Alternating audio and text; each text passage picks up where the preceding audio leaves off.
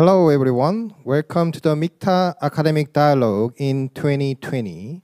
We are coming to you from Seoul, Korea, and streaming live on YouTube.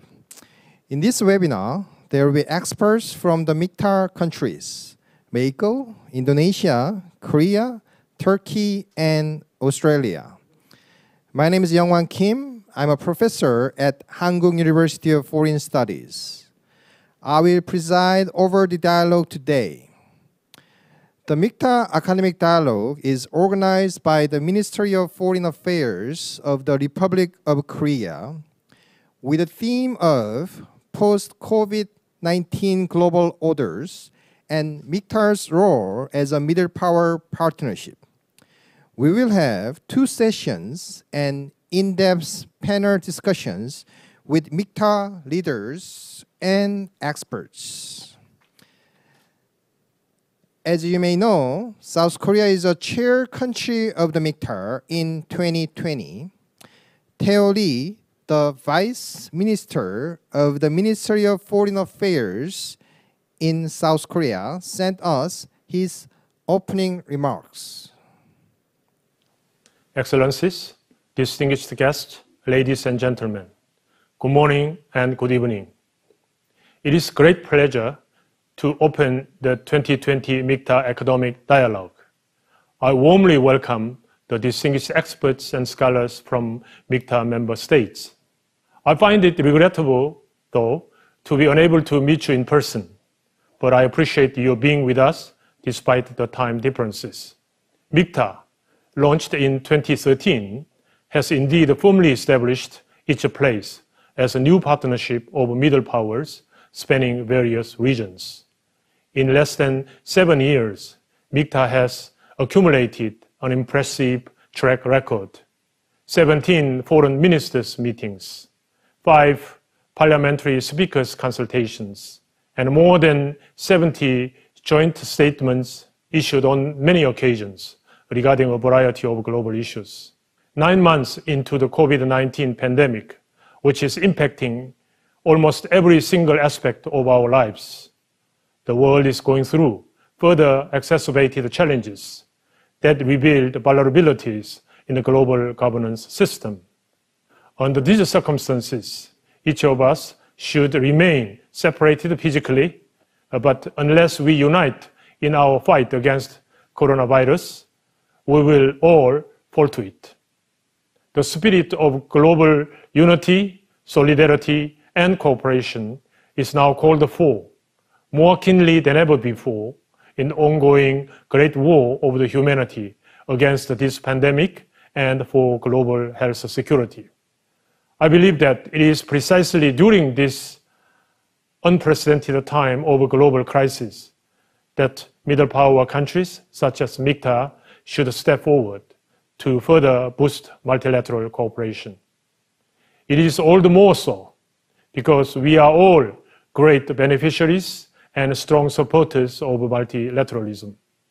Furthermore, I believe MIKTA, as an innovative consultative platform, can serve as a driving force for bolstering multilateralism and mastering our efforts to give real impact to it.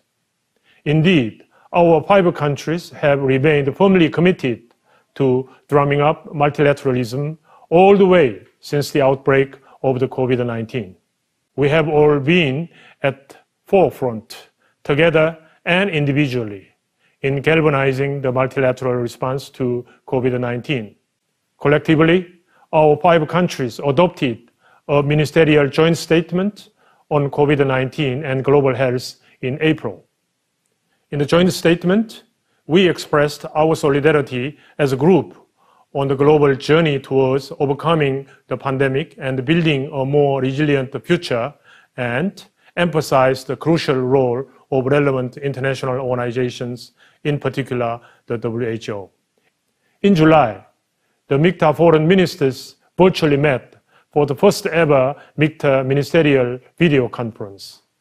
They underscored in one voice the urgent need to strengthen multilateralism amid the current COVID-19 situation and agreed to further step up collaboration among the MIKTA member countries on the multilateral stage, including the United Nations.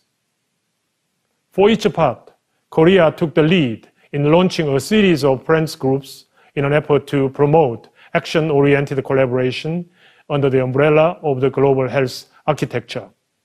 In New York, Geneva, and Paris, Korea is pushing ahead, together with other friends, with the causes of solidarity for global health security, global infectious disease response, and inclusion with global citizenship education.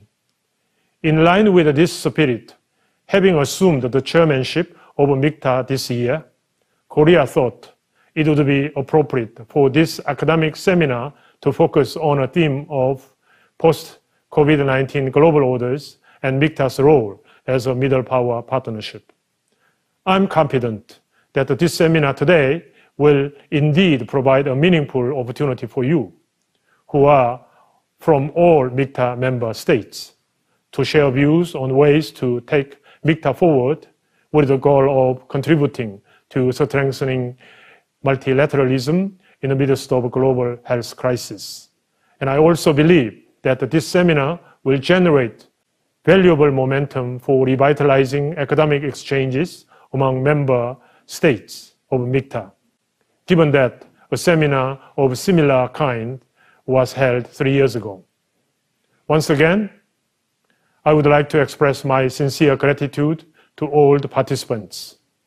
You reflect indeed so well MIKTA's diversity and dynamism. And I very much look forward to fruitful and lively discussions today. Thank you. Thank you very much, Vice Minister Lee. Next, there will be a welcoming remarks by Sang-Hwan Lee, the President of Korea Association of International Studies and professor at Hankuk University of Foreign Studies. Please welcome.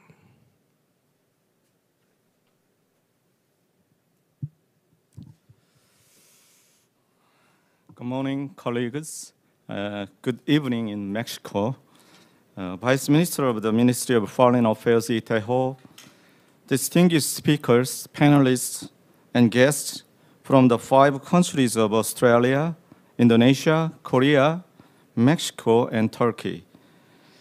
I'm more than pleased to welcome you to the MIKTA Academic Dialogue on the theme of post-COVID-19 global order and MIKTA's role as a middle power partnership.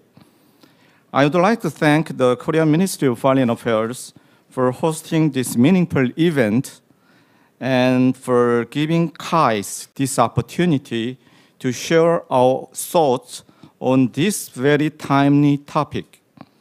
Today, the COVID-19 pandemic is changing the way of life, both in domestic and international uh, global communities. Post-COVID-19 era is being characterized as deglobalization and digitalization. Deglobalization has originated from the COVID-19 pandemic and its consequent problems including restriction on travel and transfer of goods. Digitalization continues to accelerate because of the pandemic and the ICT revolution. Furthermore, the COVID-19 recession is a major ongoing global economic crisis. The crisis, the worst global economic situation since the Great Depression in the 1930s began due to the economic consequences of the COVID-19 pandemic, which is still in progress as we speak. This recession has been unusually severe and is causing rapid increases in unemployment in many countries. And as COVID-19 continues to spread, some, some countries, including South Korea, are putting uh, their citizens on various forms of lockdown. In April, the foreign ministers from MIKTA uh, countries, MIKTA member countries, issued a joint statement to call for robust global cooperation in fighting COVID 19. They maintained that MIKTA members, together with other G20 countries, should employ all available policy tools to minimize economic and social damage from the pandemic. In addition, the ministers noted that openness, transparency, and democracy are key factors in providing measures to protect people from the pandemic. MIKTA aims to support effective global governance despite its diversity in terms of geography, culture, and socio-economic situation, all member states are in unity to ensure global governance systems are working in order to improve security and economic interests. As a cross-regional partnership, MIKTA's middle powers need to play a more profound and effective leading role in the global community in these enduring times. Indeed, the international community high, has high expectations for MIKTA. As a, as, as a matter of fact, MIKTA member states have been dealing with issues such as UN Security Council reform, peacekeeping, anti-terrorism, refugee problems, development cooperation, climate change, and epidemics. Now we recognize that COVID-19 is a new disease that requires collaborative response, including sharing of information and solutions between nations. We need to share our respective experiences in addressing the pandemic in an open, transparent, and democratic manner. At a time when great powers are busy at finger pointing, we should enhance our collaboration further to overcome the pandemic. This academic dialogue is designed to discuss a post-COVID-19 global order and MIKTA's role as a middle power partnership as the theme for MIKTA academic dialogue this year. We have two sessions today. In session one, MIKTA experts will discuss the, uh, the impacts of the COVID-19 pandemic on the dynamics of national interest and prospects of a post-COVID-19 global order. In session two, MIKTA experts will contemplate ways to deepen our collaboration to promote multilateralism and global health security for the enhancement of socio-economic recovery and global resilience. Distinguished panelists, today's seminar provides an excellent opportunity to discuss the role of MIKTA on global issues and build networks to help solve the COVID-19 crisis. I hope you will have detailed discussions on ways to encourage creative ideas from middle power diplomacy. I look forward to meaningful debate on what kind of strategies MIKTA should pursue in solving COVID-19 related problems. I wish you all the best in your intellectual exercise today. Thank you very much.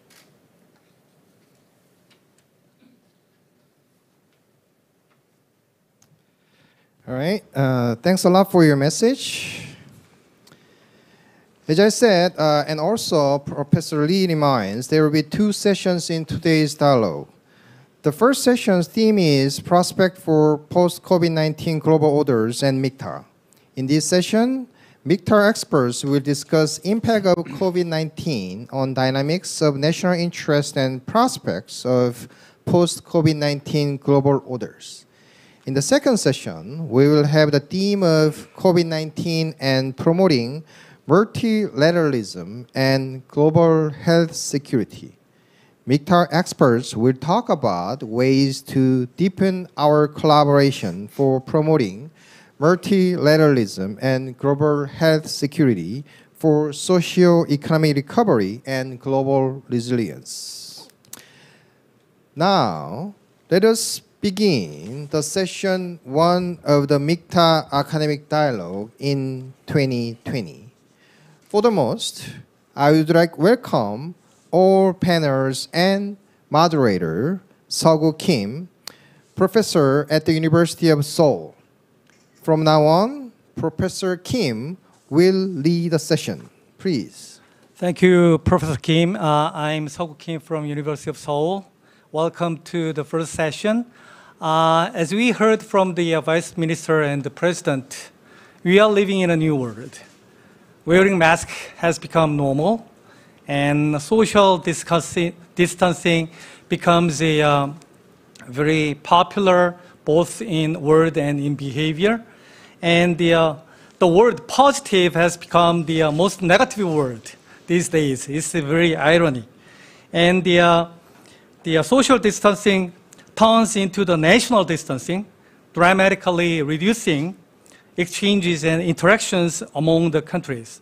Then we all are struggling to cope with the uh, new crisis, public health and economic and social crisis.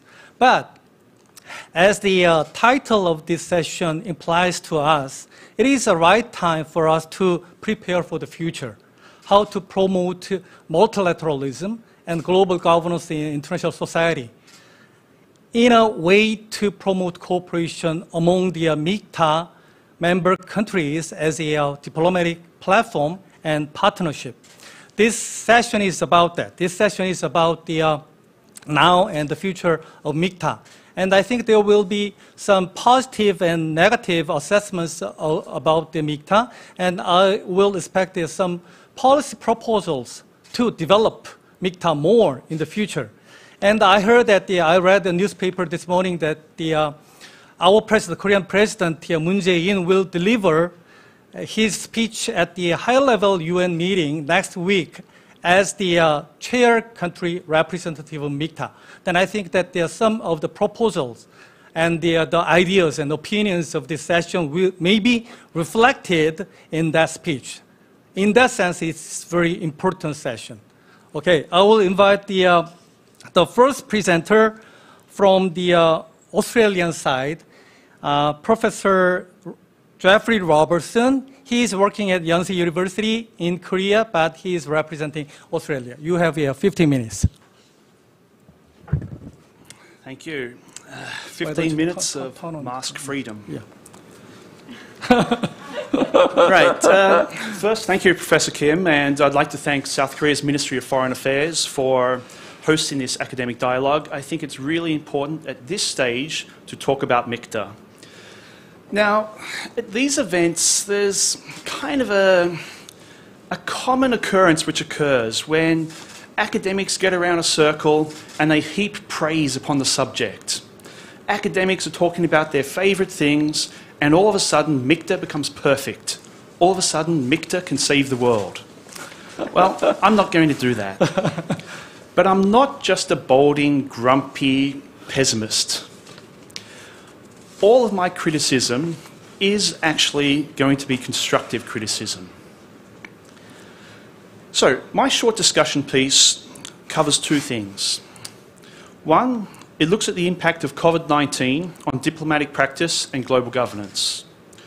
Two, from this, it discerns the potential impact on MIKTA.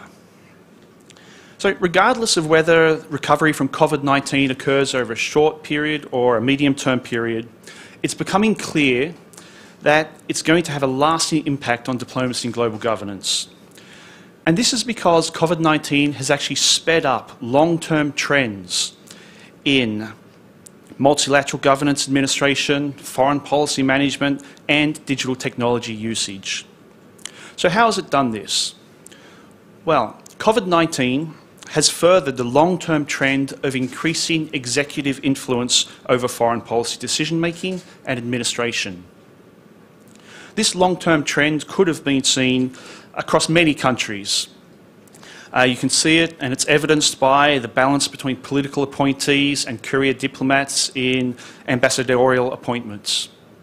It's evidenced by the size of departmental budgets. It's evidenced by the politicisation of foreign policy. COVID 19 is a crisis, and we naturally accept greater, a greater executive role during a crisis.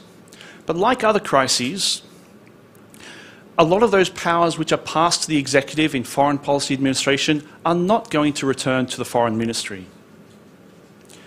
COVID 19 has also brought out growing dissatisfaction with multilateral governance.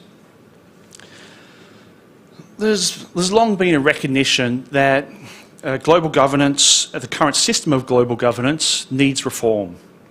It doesn't fully reflect strategic realities. It's increasingly unable to achieve its aims. It's becoming much more political than practical, and it's even become bloated, inefficient, and corrupt. The classic example of this is the actions and reactions to the performance of the World Health Organization in the midst of a global pandemic. Now, COVID 19 has also forced innovation resistant, very conservative foreign ministries to adapt to digital technologies. To begin with, the implementation of digital practices, video conferencing, proved difficult and frustrating for many foreign ministries and for individual diplomats. There's no non-verbal signals, no body language to aid communication, there's less opportunities for networking. There's no coffee conversations to float ideas off the record. But over time, digital diplomacy practices are becoming routine. Best practice and preferred techniques are being shared and improved. New skill sets are being developed and personnel training strategies are being implemented. New job roles and new specializations are being created. These changes are actually being highlighted right now. Just the other day, on the 15th of September, the 75th United Nations General Assembly session began. It's the first ever virtual General Assembly. There's going to be no crowded airports. There's no endless presidential motorcades careening down First Avenue. There's no standing room only moments in the General Assembly hall, and there's no packed media events on the sidelines meetings are going virtual. But according to the UN website, the wheels of global diplomacy and sustainable development are still turning at the usual speed. After this event, the biggest question which will be asked is, why haven't we been doing this for the last 20 years? Think of the environmental impact alone. The days of diplomatic travel hotels and restaurants to attend what many publics see as pointless political talkfests may be ending. It's only 75 years ago that diplomacy evolved with the technology of air travel. And fly in, fly out missions became the norm. Today, diplomacy is evolving again with digital technology and a reduction in fly in, fly out missions may be the result. But perhaps most important, the use of digital technologies are becoming viewed as contributing to personal well-being, they're viewed as time-saving, and they're being viewed as cost-efficient. Wholesale adaptation to an online environment presents cost savings that would be impossible in an all in-person environment. The more time spent in a digital diplomacy environment, the less likely foreign ministries will actually be able to return to the previous uh, circumstances. As has been noted by commentators in education, business, retail, and of course academia, the changes precipitated by COVID 19 are likely here to stay, at least some of them. And this has already been evidenced. Um, foreign ministries are starting to adapt. Just here in South Korea a few days ago, the foreign ministry announced that it's going to seek an additional $5 million for its budget in order to build a video conference platform, a secure video conference platform, so that it can continue video conferencing as these meetings spread across the globe. Because of COVID 19, adaptation to digital diplomacy will occur, savings will be made, and these savings will become the norm. It will be very hard to give them up. And at the same time, foreign ministries will face budget pressures over the next five years. With much of their work hidden and being difficult to assign to performance indicators, foreign ministries are always a target of budget cutbacks. With less travel and less nationals overseas, they've got an even less supportive constituency than previously. Add this increased executive power, growing dissatisfaction with multilateral governance, potential cost savings, and continued use of digital technology practices. And the calls for budget savings to foreign ministries is only going to increase. So, where does this leave MIKTA? Is MIKTA so indispensable that it will avoid budget cuts? There are widely divergent views on MIKTA. At best, MIKTA is a platform to build relationships with non traditional partners and to work ever more closely with traditional partners. So, such platforms are essential for diplomats. In the diplomatic kit, they enable a diplomat to build networks, establish reputation, build trust. They strengthen links that will pay off at later dates. They're a valuable public diplomacy platform to promote national interests and strengthen bilateral ties between partners. For Australia, MIKTA has served as exactly this. It's enabled Australia to build ever closer ties with Turkey, Mexico, and South Korea, and it's given another platform for Australia to continue building its most important relationship with Indonesia. But outside of being an ideal diplomatic platform for relationship building, there's somewhat of a degree of confusion about what MIKTA actually really does and what it actually really achieves. In terms of volume, it's probably achieved as much as any other informal grouping. It's put out 26 joint statements, 11 joint communiques, 9 press releases, 17 other statements, and summary memoranda, yada, yada, yada. It's run programs bringing together senior officials, parliamentary speakers, journalists, students, and of course, academics.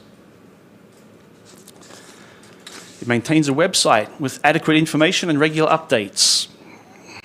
But there's a degree of confusion because, it's because of its lack of subject specificity. Its output covers a wide array of topics, from sustainable development to terrorism, from North Korea to civil emergencies, from migration to the creative economy. The spread of subjects means that it's difficult to define MIKTA's purpose. And in public administration terms, and in public finance terms, this means it's also difficult to defend. MIKTA credits only three mentions in the Australian Government Department of Foreign Affairs and Trade's annual uh, reports. Three mentions in the last three years. Two of those mentions were in the glossaries. At worst, MIKTA is a waste of time. It may have made sense seven years ago, but the international environment has moved on.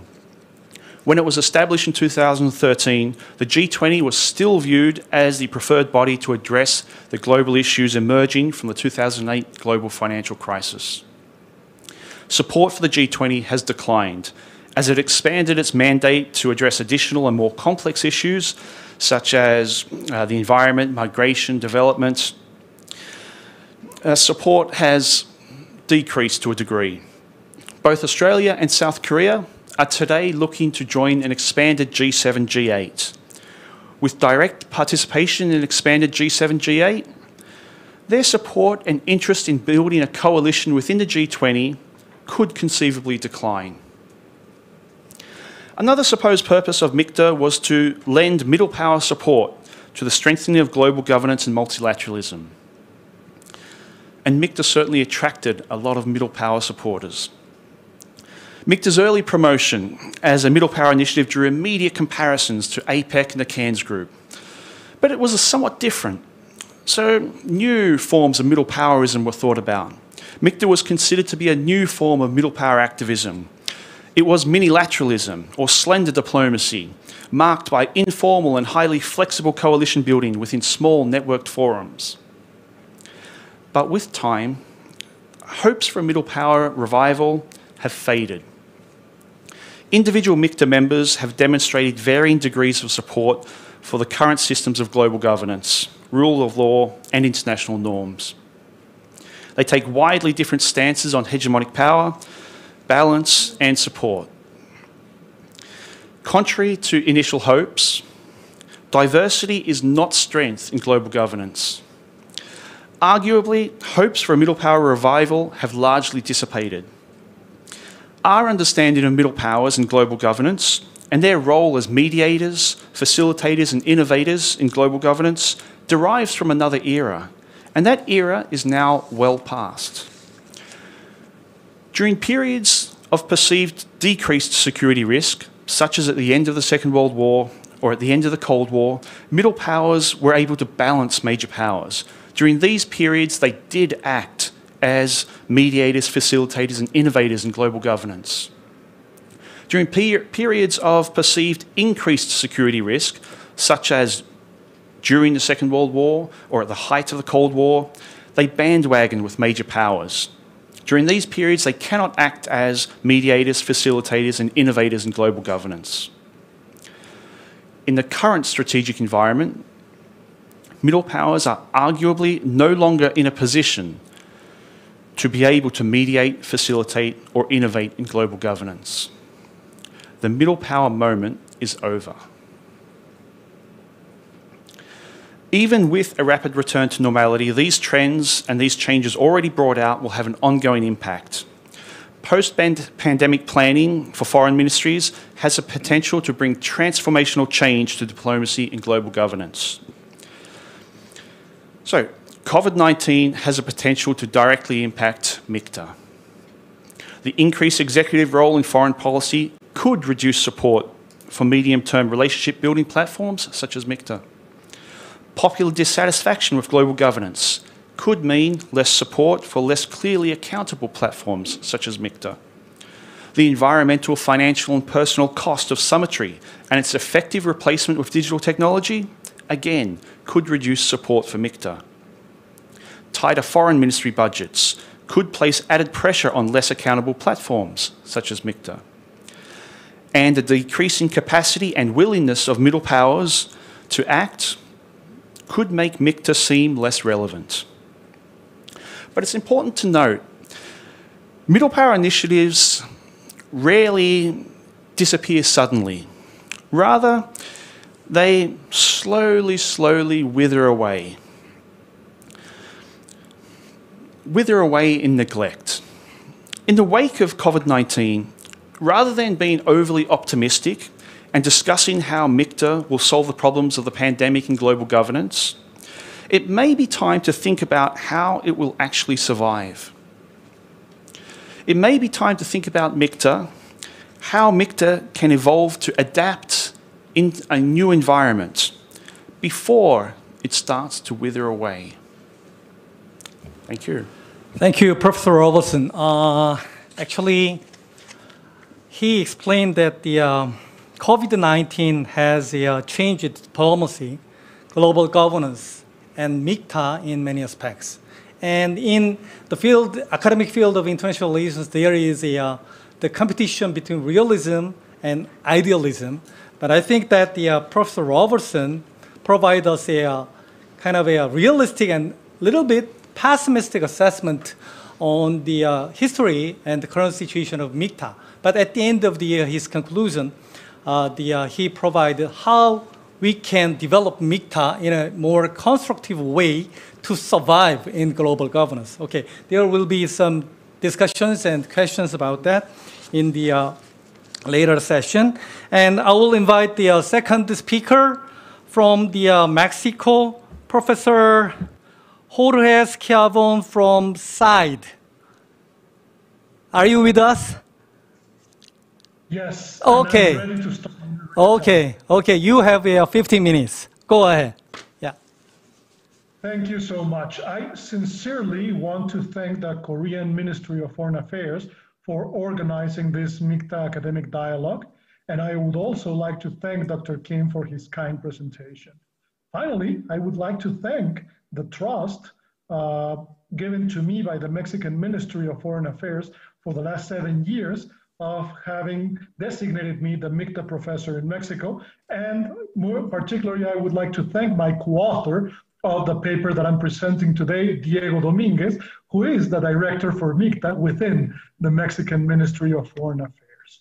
So what I would like to do is to argue in a bit more optimistic way than Professor Robertson yeah. that uh, MIKTA in 2020 can be a mechanism of political dialogue and coordination between middle, regional, and constructive powers that together can make a difference in terms of providing much needed global governance in a time of crisis, especially with coronavirus and uh, the economic crisis that would most definitely come as an effect of the pandemic. I would argue that the current international system has three huge challenges. On one hand, uh, the decline of the United States as the sole hegemonic power in the world since the end of the, uh, of the Cold War has created a scenario in which uncertainty prevails and competition among states uh, to become the new hegemon is on the rise. And the empowerment of China as the new economic and political superpower and the possibility of a reorientation of the world to the Pacific have been pointed out by many scholars. On, on the other hand, second, multilateral institutions, as well said by Professor Robertson, are facing enormous limitations to effectively address the most critical situations facing the international scenario. And third, and most important, I think today, uh, the COVID pandemic and the global efforts to respond to it have been both in the health uh, arena and the economic crisis, to say the least, uh, very timid and very small in terms of its effects and impacts. Therefore, the lack of an hegemonic power that imposes order stability in the world and the enormous challenges faced by international institutions to cope with critical situations like COVID 19 and its economic effects have created a growing need for innovative alternatives that can provide public goods in the international level, such as global governance. We argue that middle and constructive powers like MIKTA countries can and must play a leading role not only in filling this capacity vacuum, but also in building and strengthening global governance. Countries uh, to be considered uh, middle powers and constructive powers uh, first have to have the sufficiently important uh, capacities in terms of territory, population, resources, and a significant influence in the international system. But at the same time, they have to be not so big as to be conceived as a threat by other countries. And second, constructive and middle powers must serve as, bridge, as bridges in multiple policy areas, especially between developed and developing countries. In other words, uh, MIKTA countries must be relevant in world affairs without being a threat and at the same time serve as representatives of, of the regions or cohorts of similar countries in various realms in order to serve as providers and generators of global governance in the very complicated situation that we're living today due to the coronavirus crisis and its economic effects in terms of generating a, a global economic crisis. So, MIKTA countries are middle, regional, and constructive powers because they can exert influence in the international arena, especially by building coalitions, by fostering multilateral institutions, and, and serving as bridges between groups of countries and regions. Uh, and they also articulate such influence, uh, preferring diplomacy over coercive or military means. Persuasion, mediation, and the development of norms are some of the ways in which MIKTA countries have acquired a leading role and gained legitimacy from other state actors. And second, uh, MIKTA countries firmly believe in institutional frameworks to solve disputes and reach consensus on the different areas in the international arena, exactly generating global governance in these very, very complicated times. Uh, and as we all know, global governance is this multi-level collection of governance-related activities, rules, and mechanisms, both formal and informal, public and private, that exist in the world today. And global governance, as everyone knows, is better achieved within an effective institutional uh, framework, just as MIKTA has created in the course of the last seven years. Global governance is advance when like-minded countries strengthen international institutions that mitigate conflict, promote cooperation, and bring about better outco- outcomes for all parties. And as trustworthy countries, MIKTA countries have the necessary le- legitimacy to push for peaceful actions to solve the problems that we are facing today in terms of the health crisis and the economic crisis that co- will come afterwards. In some MIKTA countries, regional, constructive, and middle powers. Furthermore, they have the characteristics in common to make possible for them to share ideas, policies, and goals. And uh, they can serve as providers of global governance in the respective regions and together in the global community as a whole. So, why is MIKTA important and relevant in the current uh, situation in 2020? Because MIKTA differs from other informal groups of countries, like, for example, BRICS, the N11, MINTS, Eagles, and CARS, because they were not created by others, but rather decided themselves to join as, a, as an informal mechanism to cooperate among themselves to promote this global governance. MIKTA, as everyone knows, was created seven years ago, and uh, all MIKTA countries are members of the G20. So far, MIKTA, as already said, has witnessed 17 meetings of foreign ministers and has had the first ever virtual meeting uh, just uh, two months ago to address the COVID 19 and its effects on multilateralism and collective action. It has produced tens of joint agreements on issues like sanitary outbreaks, including one on COVID 19, and many, many other important issues. But what's most important is that they share this vision, and in their vision statement, it says that all MIKTA countries have both the will and capacity to contribute to protecting global goods and providing global goods and strengthening global governance. Therefore, MIKTA seeks to serve as a cross-regional consultative platform to find opportunities for cooperation among its members. The grouping seeks to play a bridging role between developed and developing countries to promote global governance and complement the efforts on regionalism. And finally, MIKTA countries see themselves as facilitators in launching new initiatives and implementing global governance reform. And this is exactly what we need today in these very complicated times of coronavirus and economic crisis. For this reason, to face COVID 19, MIKTA countries can actively promote the creation of global mechanisms to accelerate that development and universal, and universal access to a vaccine, and also to consider such a vaccine and treatments as global public goods and set pathways to collectively address its intertwined intermediate, immediate, and longer term consequences on global and national economies and societies.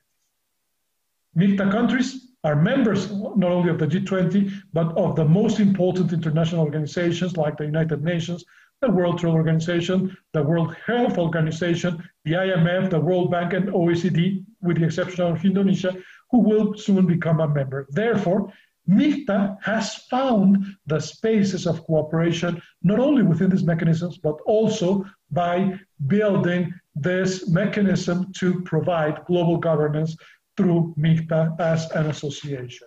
Now, how can they do this in a very effective and efficient way? Well, first, they have to invest in strengthening their, their bilateral ties. And here I will become a little bit more pessimistic as Professor Robertson, in the sense that I believe that today the level of communication between them needs to increase, and also uh, the, the, the, the, the amount of resources and personnel in their embassies and consulates in the other MIKTA countries.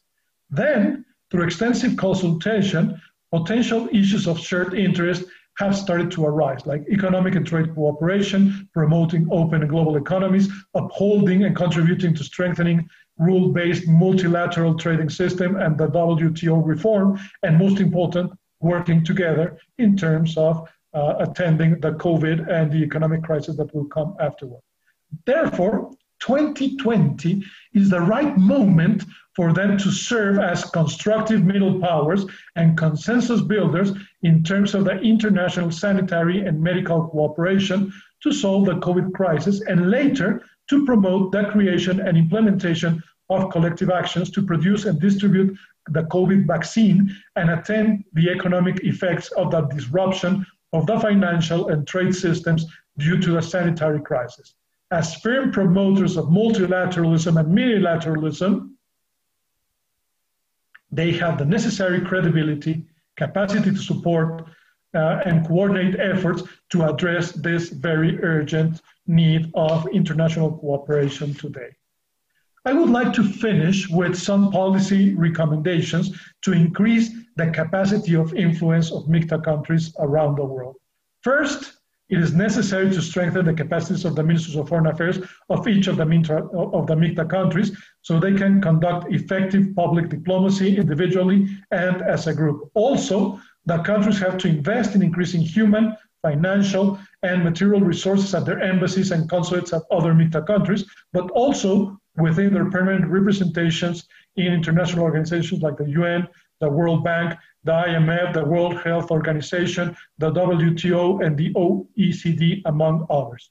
Second, MIKTA societies need to know and understand each other better.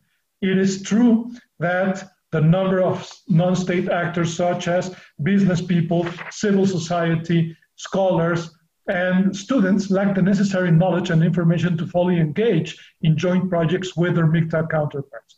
Therefore, if MIKTA aims to become a broad network that involves more than public officials and diplomats, some steps need to be taken to bring together all these other relevant social actors.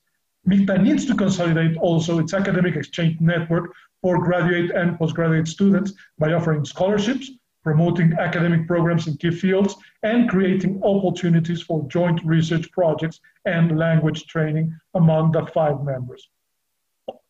Also, trade and investment is an area where MIKTA countries can devote resources to achieve their goals. Entrepreneurs and investments from this and investors from, the, from these five countries need to explore the MIKTA markets more deeply and search for business opportunities and joint projects that will bring about economic and social benefits for everyone, especially with the economic crisis that will come after COVID 19. This has already started with a roundtable discussion, MIKTA doing business, trade, and investment opportunities, which was just held six months ago in Mexico. And another group that needs to participate more actively in MIKTA is civil society. All five countries have uh, vibrant civil society organizations and NGOs that, lead, that deal with current pressing issues of domestic and international agendas, among them COVID and economic.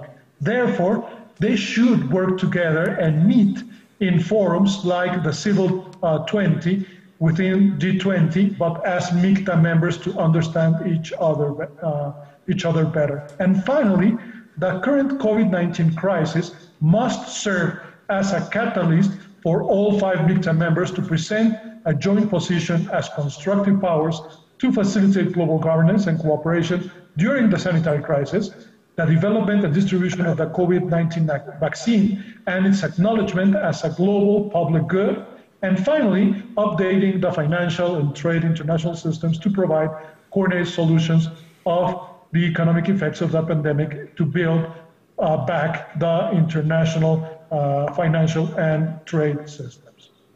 In sum, MIKTA countries are and can serve as middle, regional, and constructive powers. If they join their efforts to consolidate and support uh, all relevant state and non-state actors in their countries, the mechanism will gradually consolidate itself domestically and internationally, allowing MIKTA to become an even more relevant actor to promote and generate public goods in the international system, especially global governance in a time of sanitary and economic crisis, the one that we are living today in 2020. MIKTA is the political dialogue and cooperation mechanism which is ripe to serve its, its function as facilitator and provider of global governance in these very complex sanitary and economic crisis times that we are living today. Thank you so much. Thank you very much, Professor Jorge. Uh, he provides us a uh, more idealistic and more positive assessment on MIKTA. So far, we heard the two presentations and the two contrasting views on MIKTA. Then I think that the, the very important question is that is it really meaningful to pursue more cooperation among the MIKTA countries in the future? In what ways? Under what conditions? Or otherwise, we can focus on more the great power policies and diplomacies in the middle of the uh, competition between the United States and China. Which way to go? Which way to adopt from the, uh, each country's uh, the viewpoint or collectively as a MIKTA, as an uh, informal diplomatic the, uh, institution? Then I think that the, uh, the I expect the very interesting discussions and the discussions and the uh, questions from our three panelists. I will invite the, uh, the first panelist the, from the uh, representing the Korean side, uh, Professor Kang Sun-ju from the, uh, the Institute of Foreign Affairs and the uh, National Security. You have 10 minutes. Go ahead, yeah. She's with me, actually, here. Thank you, Mr. Chairman. Uh, it is my pleasure to participate in MIKTA Academic Dialogue. Uh, MIKTA is a dear subject to, for me because I've been involved with uh, MIKTA from its inception. Uh, MIKTA is now seven years old and has entered its second phase of operation where the five member states rotate to lead the group for a second time.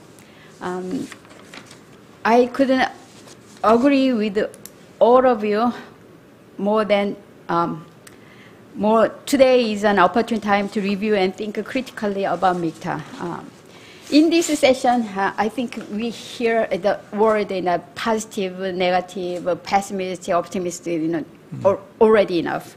But um, uh, in this session, we are given two assessments of MIKTA, which are in a stark contrast. Professor Schiavon um, presents the potential of MIKTA on a positive note. On the other hand, the uh, Professor Robertson next to me is, is rather pessimistic about MIKTA and warns us about, about what lies ahead of MIKTA. In my opinion, both assessments are correct. MIKTA has both potentials, positive and negative. In other words, MIKTA is at a crossroad to be or not to be. I sound like in Hamlet, don't I? Okay. Uh, MIKTA was born, uh, MIKTA was formed in 2013 as a G20 offshoot. Uh, Mexico, Indonesia, Korea, Turkey, and Australia agreed to take their medium-sized resources and direct them toward the ambitious goals uh, such as strengthening multilateralism, uh, supporting global efforts for stability and prosperity, and facilitating pragmatic and creative solutions to global challenges.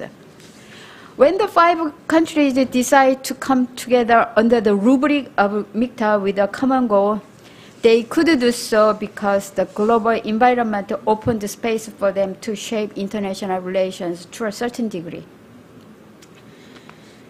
At the time, national power was diffusing from west to east and from north to south and negotiation, cooperation still remain the default option for addressing global issues.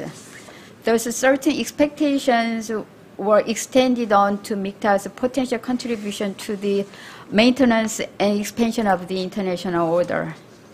However, it didn't take long before such expectations were proven to be over-optimistic.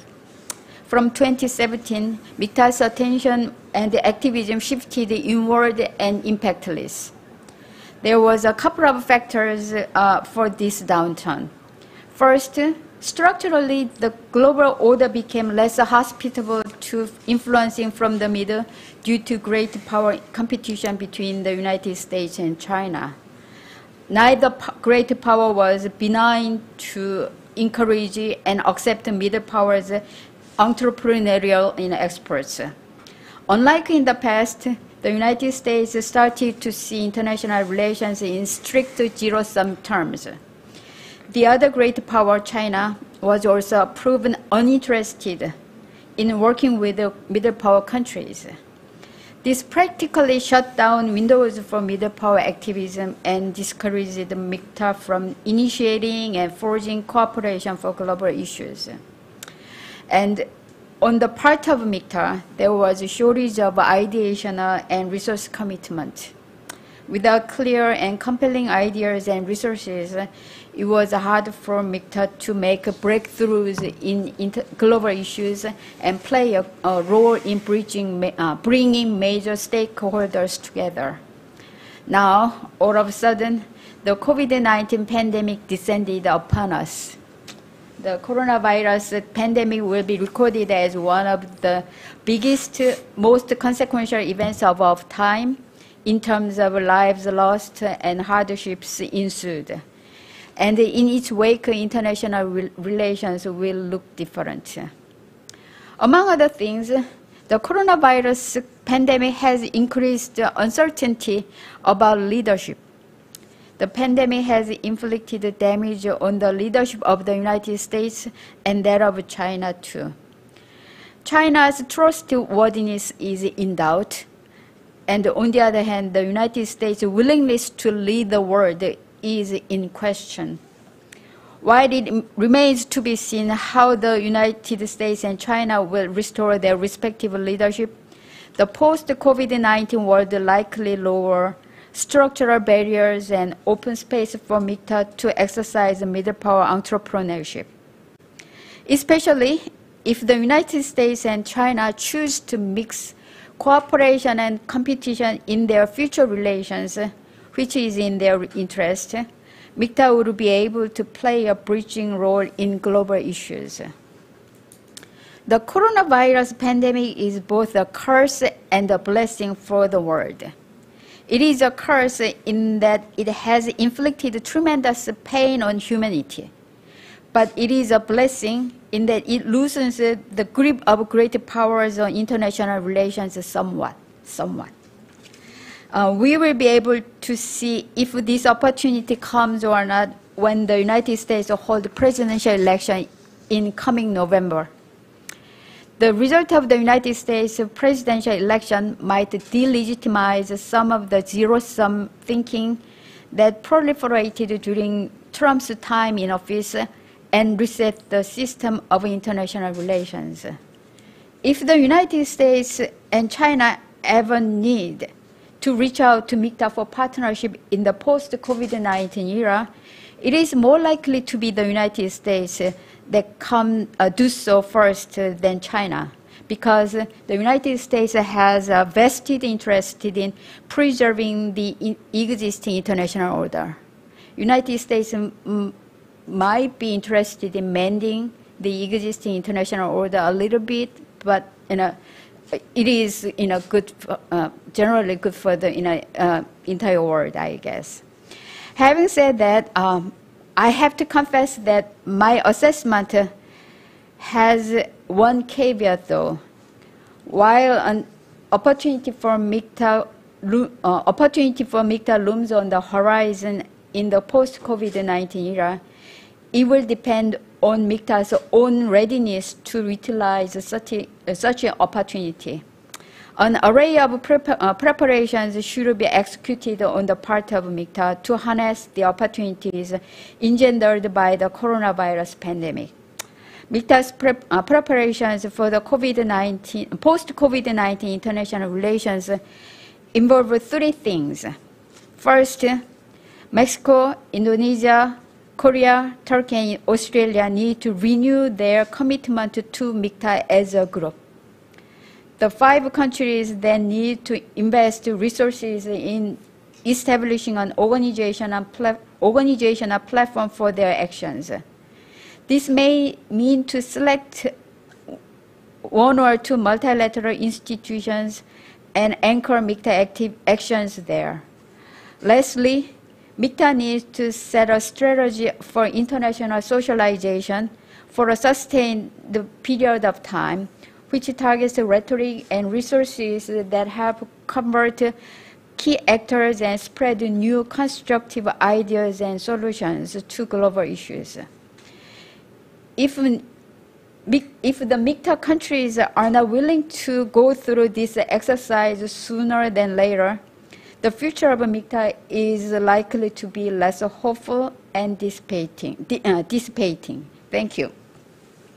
Okay, thank you, Professor Kang. Uh, actually, she provided us a, uh, some limitations pros prospects of uh, MIKTA, and the, uh, at the end of his uh, her presentation, uh, she talked about the future of MIKTA depending on the uh, opportunities which can be attained by the MIKTA countries in the middle of the superpower competition between the United States and the uh, China and, on, in, and also in the middle of the uh, COVID-19 crisis.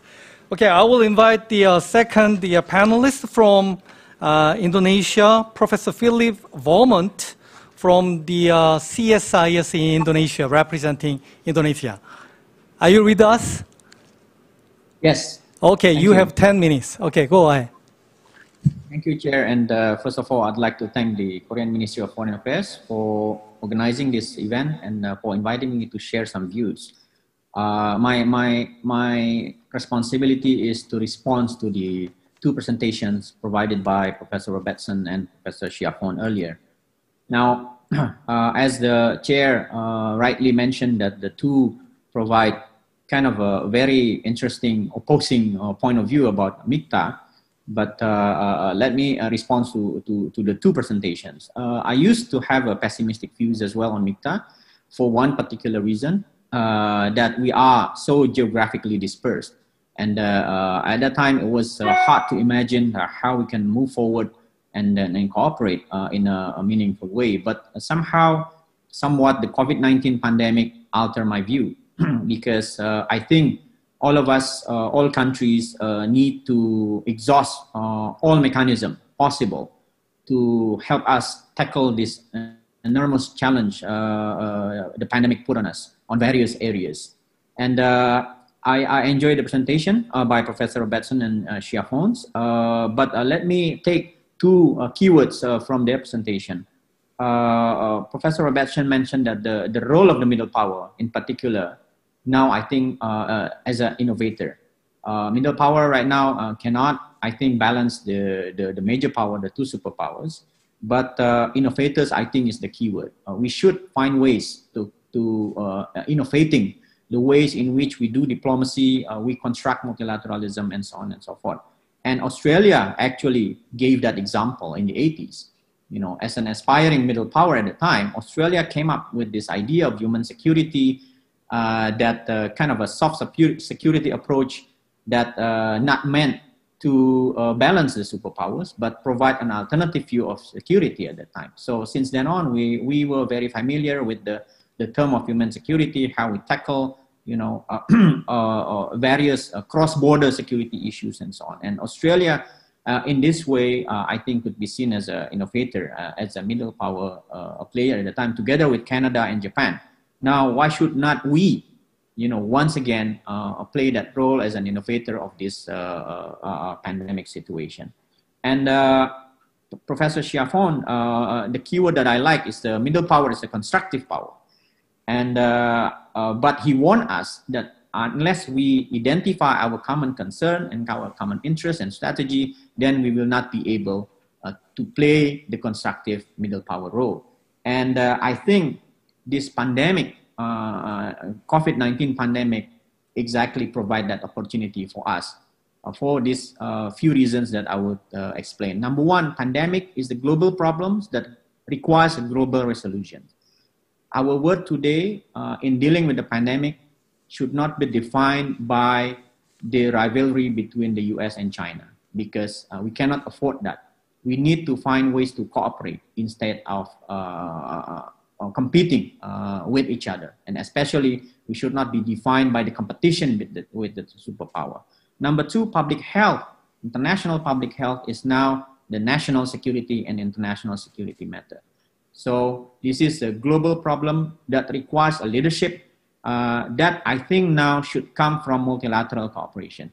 Because as uh, Professor Robertson and, and Professor Schiavon mentioned, before the pandemic, uh, the two superpowers kind of withdrawing from their international role and uh, to provide uh, international public goods.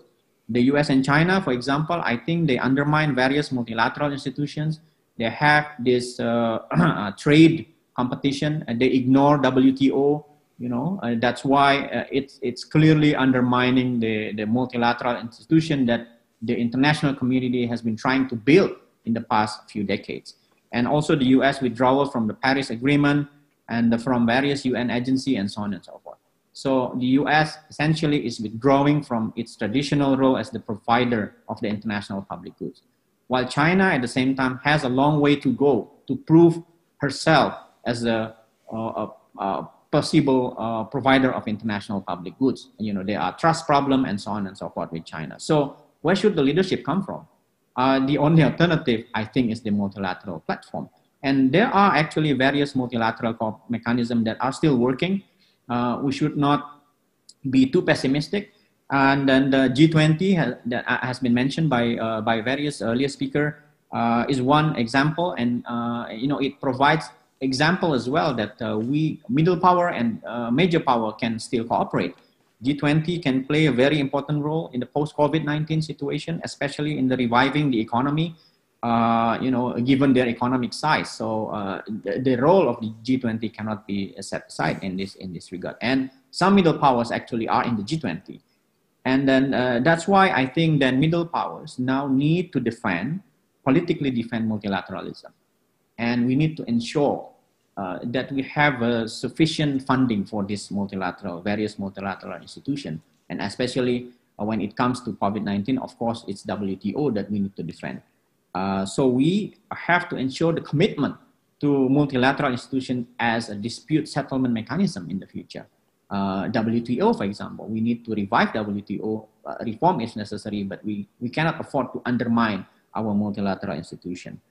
And uh, what are the challenges then for MIKTA? Uh, I agree there are so many challenges and there are so many uh, opportunity. number one, MIKTA members most of the MIKTA members, all of the MIKTA members actually are regional players, regional important players.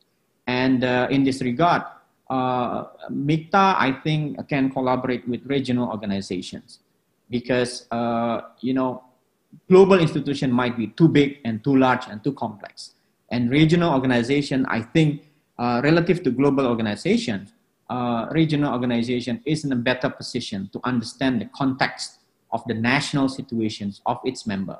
So the smaller it is, the better it will be, you know, in essence, uh, in the future. And for that, uh, uh in that context, uh, minilateral can also be important.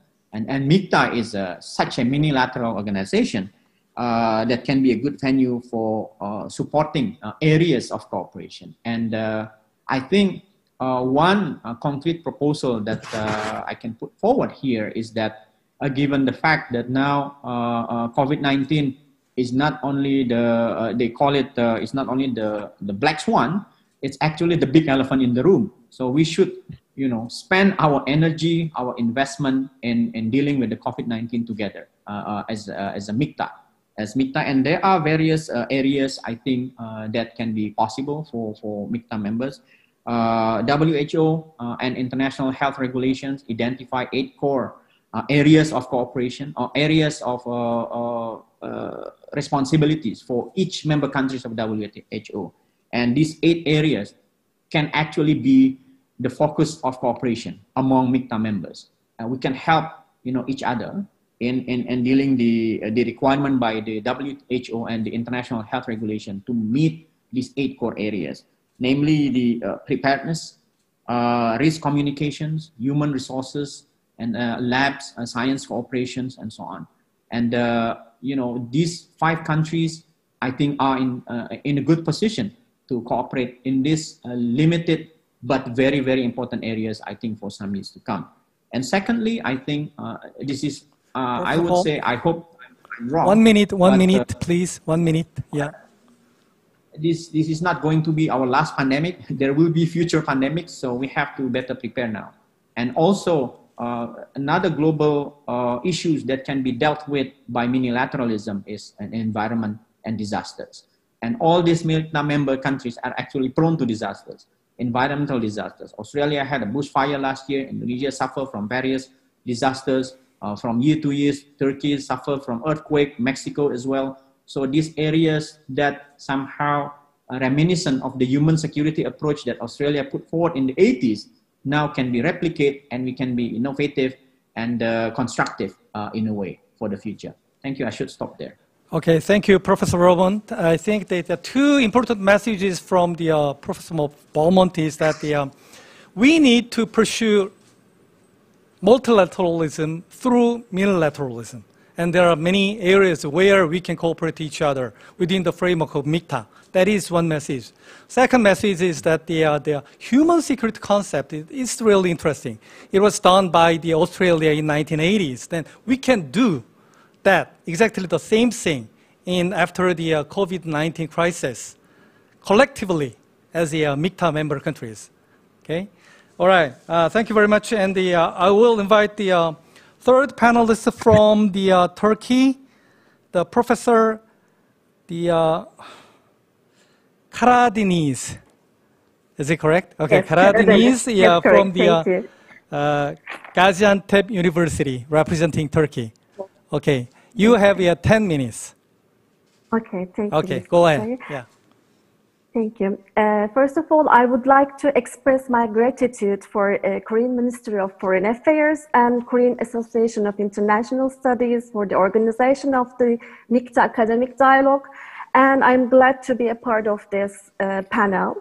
Uh, I want to make an argument and also by making an assessment of the discussions uh, that have been pointed out throughout this panel. Uh, just uh, as we all said, the COVID uh, pandemic present both challenges and threats and risks for MIKTA and also opportunities uh, for strengthening its presence in global governance and restore uh, its, its legitimacy both in the eyes of its members and in the international community. And I am on the side of the ones who think that uh, this um, pandemic presents more uh, opportunities, opportunities more than risks for MIKTA's uh, presence. Uh, first of all, rather than uh, losing its relevance for changing in international environment, I think uh, MIKTA, with the advantage of its flexibility as an informal institution, has the potential uh, to become an example of middle power diplomacy in the post-COVID area. Uh, why I think is that uh, there are some opportunities, as I said, both from the systemic level and from MIKTA uh, level. Firstly, systemic developments, as we all said, the rise of the middle power moment in uh, global governance opens a window of opportunity for MIKTA. As we all said, the uncertainty and anxiety in the current order has been accelerated by the emergence of the pandemic and the response of the superpowers like China and US have disappointed the international community. Therefore, this makes multilateralism became in a risk of, uh, you know, just not providing public good for the community. Therefore, this opens a new, another new chapter for middle power moment seen in the beginning of 2010s, uh, just in the establishing of uh, emergence of MIKTA. And in the prevailing uh, uncertainty, informal institutions uh, are providing necessary tools for states to cope with the challenges in a more flexible way. And I think this opens a space for MIKTA to act. As we all said, I mean, the previous panelist has also pointed that the health governance may be uh, the area, the niche area, which MIKTA can push its energy more into uh, making its presence. As uh, Robertson uh, says, uh, uh, Mr. Robertson said in the beginning, its lack of uh, its lack of specificity in the MIKTA as an organization, maybe health governance will become an important niche area for MIKTA to be much more present.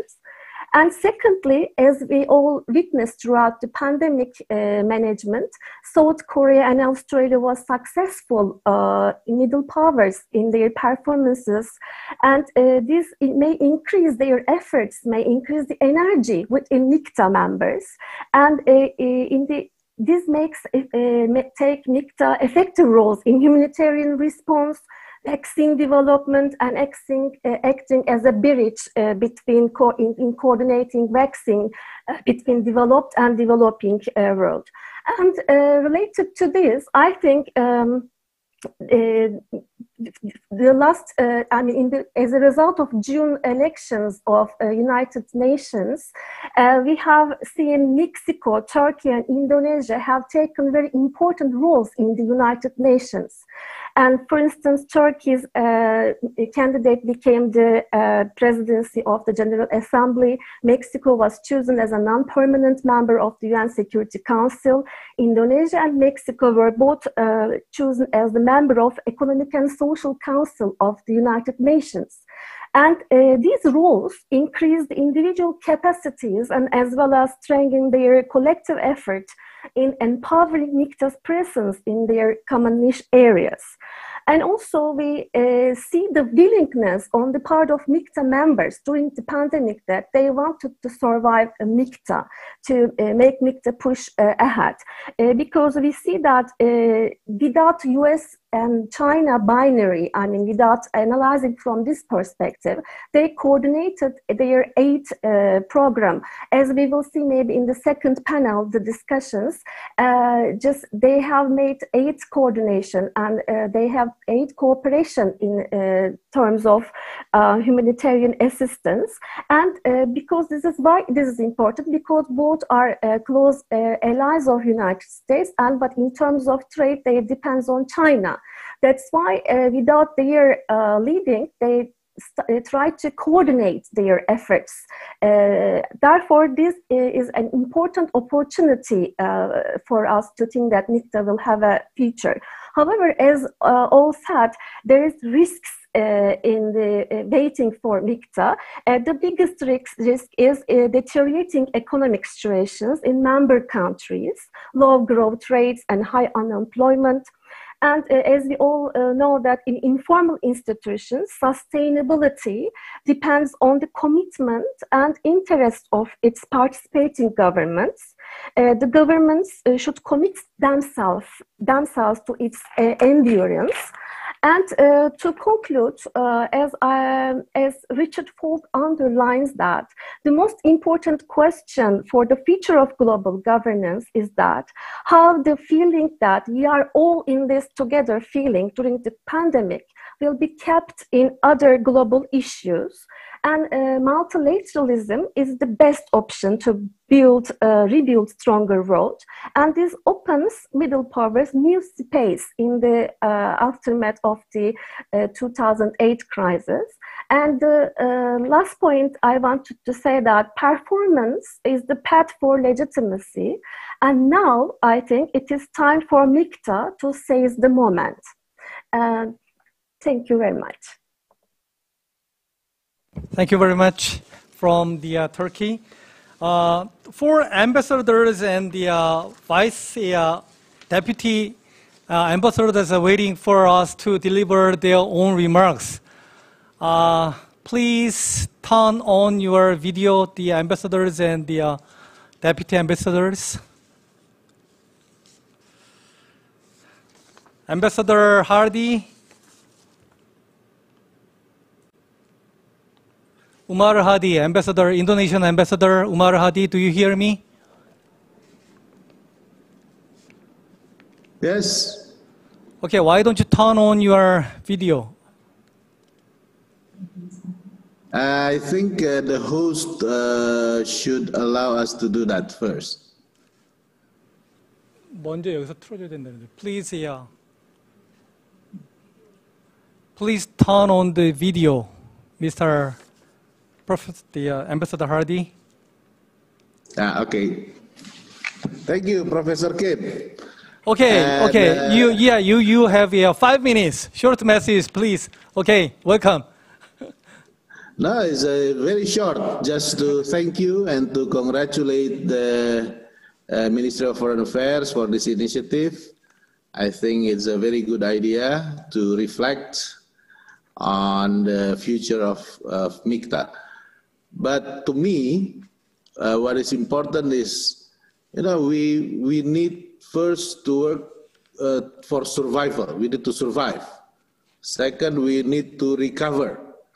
But then also we need to have a propulsion.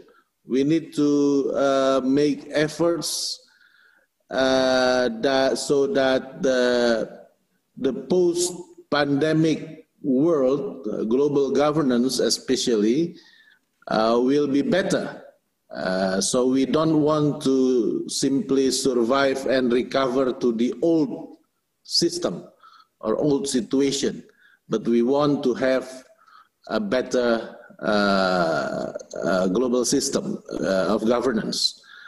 Now, what and how MIKTA or uh, countries, uh, the so-called middle powers, can contribute to that, I think it's all about um, uh, keep on uh, charging with ideas, opinions, uh, uh, and it, will take a lot of diplomat, diplomatic work, and it should start now. Uh, therefore, I think it is very important that we keep this kind of conversation alive.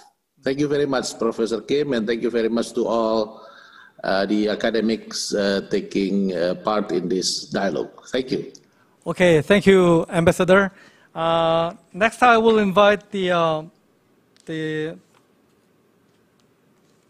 the Deputy Chief of Mission from the uh, Australian Embassy in Korea, Mr. Ian McConville. Hello. Hey. Ian McConville. Right. Yes, uh, I'm. I've, we're just trying to get on uh, video at the moment. Um, here we go. There we go.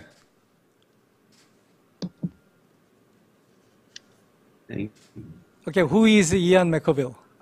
Okay. Thank you. We got you. Yeah, you So have first- five minutes. Yeah.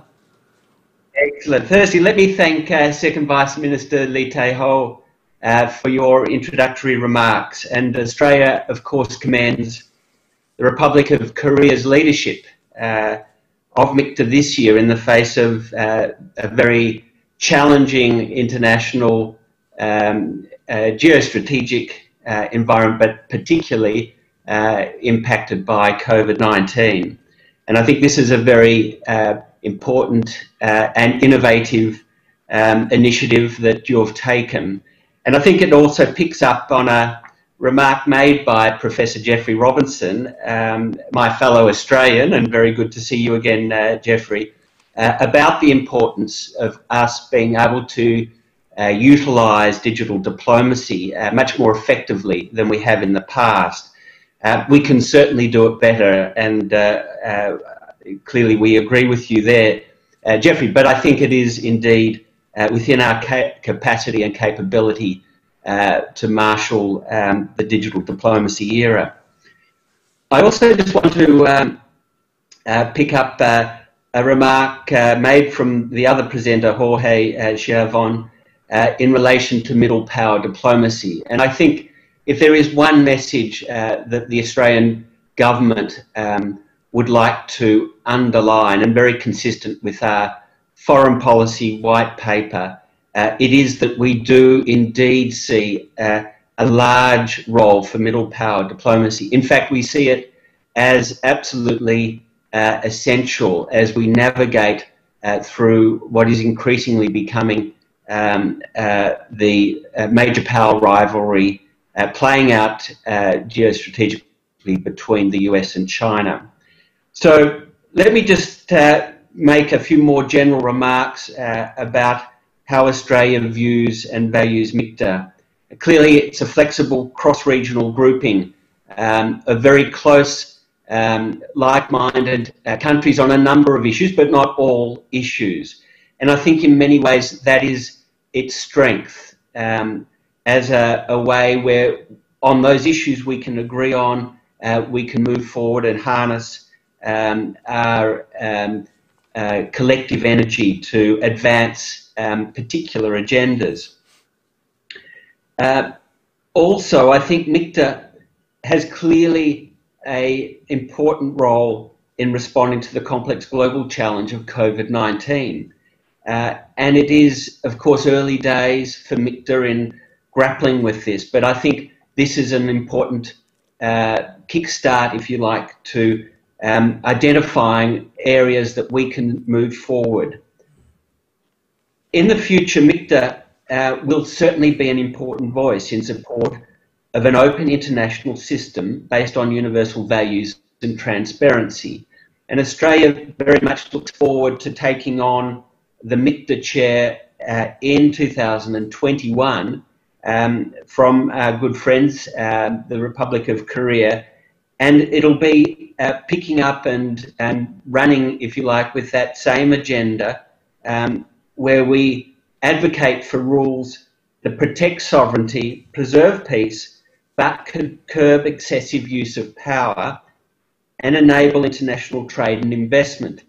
And I think we've already had um, some remarks made about challenges to uh, the global rules-based order. Um, and I think there have been um, uh, some some very good points. I think Philip's um, uh, our colleague from Indonesia has underlined that, and I think this is a role that I think MIKTA needs to um, start leading on uh, and ensuring that uh, those countries who are not necessarily uh, the largest and the biggest uh, and with the loudest voice can work collectively uh, to push forward um, with, uh, if you like, advancing the common global good.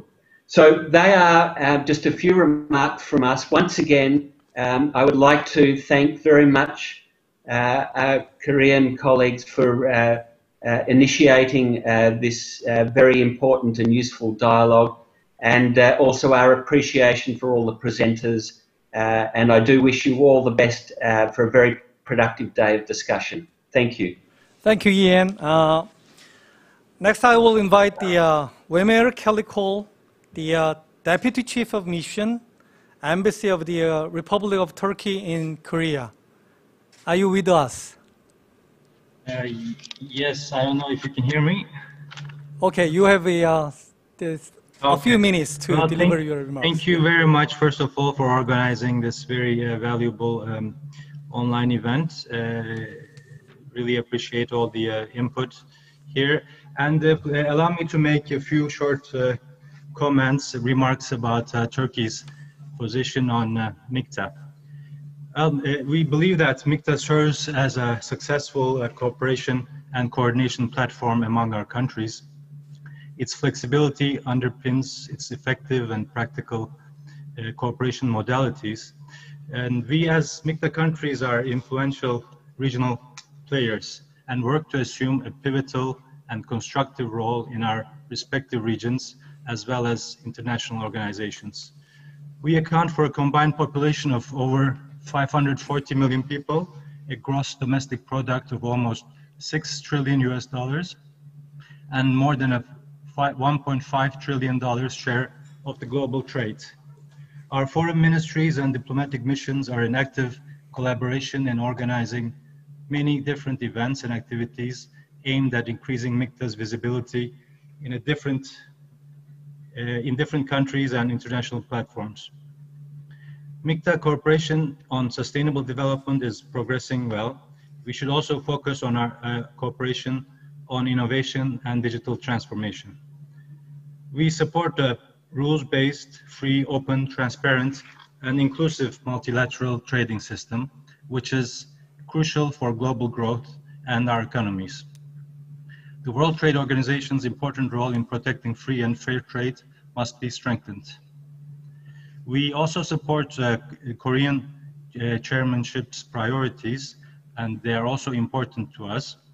Uh, First of all, multilateralism, Uh, multilateralism constitutes the basis of the international institutions which we rely upon to facilitate the cooperation opportunities and dealing with the risks and challenges on a regional and global scale.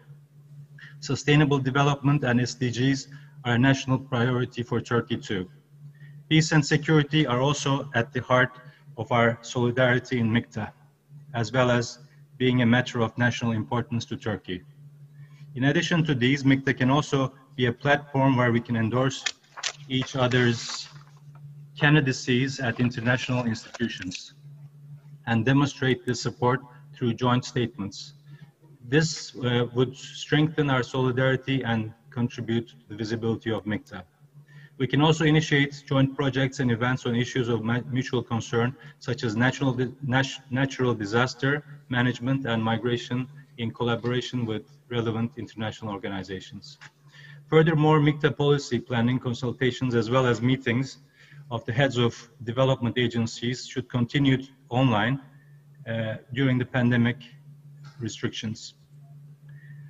Um, it is also crucial to develop new ways of working to cope with the challenges posed by the pandemic.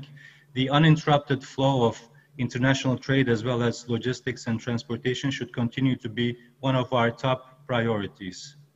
The ongoing pandemic has clearly demonstrated that global health crises should uh, they require common solutions.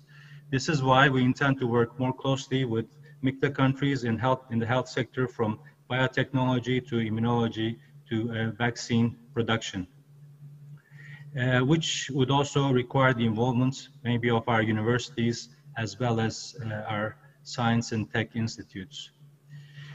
Uh, to uh, conclude, uh, we are um, also committed to expanding our cooperation through MIKTA in economic, political, and social cultural domains. Turkey supports the idea of taking MIKTA to the leaders level and the MIKTA 2.0 initiative, which uh, these, uh, as these will increase MIKTA's international visibility and influence. We can also work on uh, organizing online summit that would discuss issues related to the pandemic. Thank you. Thank you, Emir. Uh, finally, I want to invite the uh, Mr. Raul Mendoza Gallo from the uh, Embassy of Mexico. Thank you very much for waiting for a long time. Okay. Go ahead. Thank yeah. you. Thank you very much, Professor Kim Seul. Um, my name is Vladimir Vasquez, Deputy Chief of Mission of the Mexican Embassy. Uh, on behalf of Ambassador Bruno Figueroa of Mexico, I would like to express my appreciation for MOFA uh, for hosting this academic dialogue. That's really trademark of the mechanism where scholars share fresh visions and ideas emerge about where to go from the standing point. Um, the world was different in February 2020 when in Mexico City, the MIKTA condemnation was handed over to Vice Minister Ho. Ever since, uh, a global pandemic hit MIKTA countries badly. But Korea reacted quickly and started sharing experience tackling COVID. The way Korea does is regarded as exemplary, and its cooperation is very welcomed. Other countries, including Mexico, are still learning and watching Korea's steps carefully. A new world order is emerging in the post COVID 19 era, not following a world war, a class of civilization, or climate change hitting our planet beyond control. It is a complex virus, a nanometric combination of genetic material that is proving hard to defeat. Amid challenging circumstances, uh, MIKTA countries continues to be responsible global actors convinced of the irreplaceable value of diplomacy and have a long-standing multilateral traditions. Proof of that is that it is worth recalling that in Mexico, in April, uh, Mexico introduced in the United Nations a resolution entitled International Cooperation to Ensure Global Access to Medicines, Vaccines, and Medical Equipment to face COVID 19, which was adopted smoothly. The time has come for dialogue to contribute to the consensus building process necessary to address the most pressing and current challenges. Also, The time has come for middle powers to highlight significant presence in the international scenario and to identify innovative strategies to face global challenges.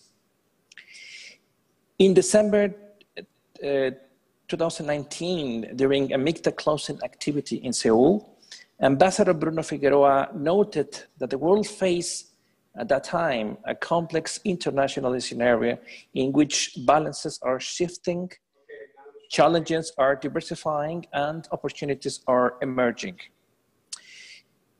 Its comments turned prophetic. Everything continues to be true, but scale, sadly scale, as coronavirus showed, difficult to handle. To navigate these uh, waters, we are committed to make the process. We are enthusiastic of the process, of the dialogue, and we look forward to strengthening our role as MIKTA middle powers. We definitely conclude that by cooperation, by sharing our experience, and by having a dialogue, substantive dialogue, these challenges will be beyond us. Thank you very much. Okay, thank you, Raul. Uh, Thank you, all the uh, ambassadors and deputy ambassadors from four countries, uh, for your time and the uh, remarks. And please turn off your video and audio from now on. And we will go to the, uh, the discussion session. And Professor Kim, do you want to say something? Okay. All right. Um, so far, we discuss the, uh, the limitations and prospects of MIKTA. And we heard the uh, positive and the negative aspects of MIKTA. And we all know that the uh, reality is different from the desirability, right? And uh, even though there are some policy suggestions to develop MIKTA in the future, but we all of us know that yeah, there are limitations.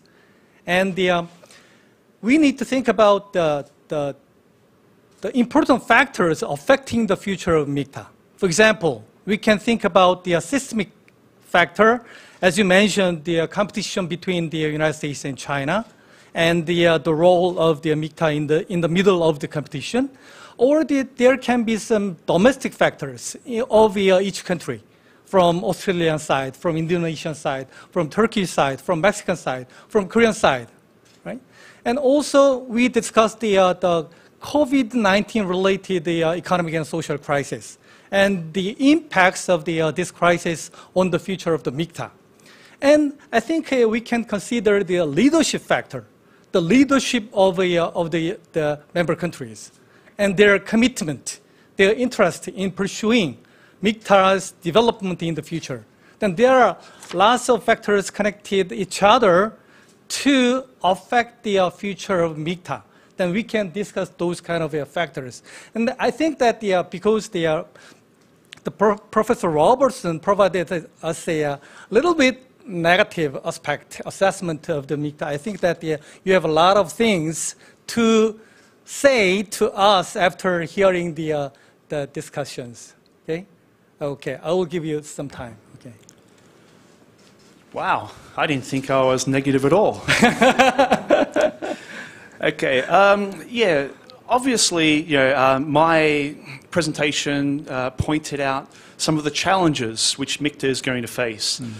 But I, I, don't think we can actually ignore these challenges. You know, every foreign ministry of MIKTA member countries is going to face challenges over the next five years. They're going to face budget cuts. And it doesn't matter how many foreign policy feel good words you use, you know, consensus building, mechanism building, cooperation, global goods, it doesn't matter.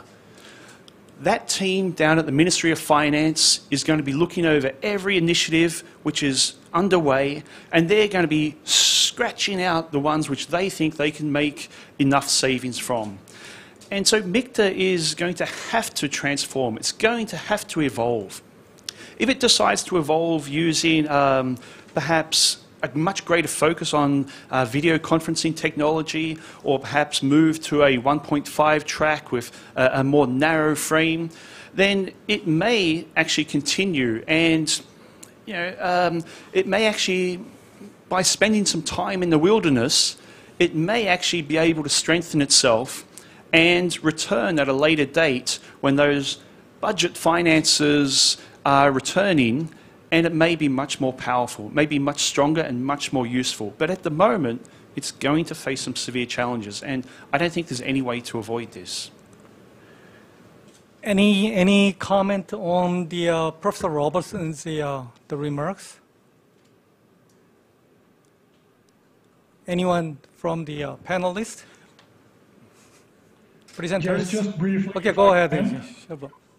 Uh, I remember from my Asian politics course many, many years ago that in Japan, the word kiki means at the same time crisis and opportunity. I think that in this moment, we are exactly within MIKTA in a kiki moment in which there is a huge crisis in terms of the uh, health situation with the COVID 19 pandemic and the economic crisis that will come afterwards. But at the same time, there is a great opportunity for minilateral mechanisms like MIKTA to work through multilateral organizations to actually make a difference. Constructive powers need to fill in the void, the gap, which is being left by a receding US and a not yet ready China to take care of managing world affairs. Therefore, it is the moment for constructive middle powers to provide that governance. Therefore, Kiki, crisis means opportunity. Okay, good point. Another point? Yes, if I may. Do you want to? Yeah. Yeah, um, crisis and opportunity. I, I, like that as well. um, but I think MIKTA is in a position where we can't just use all these catchphrases and we can't just use all these feel good ideas. It's going to face some real challenges over the next five years because it basically hasn't achieved enough. And all middle power initiatives need to actually achieve something to be sustained.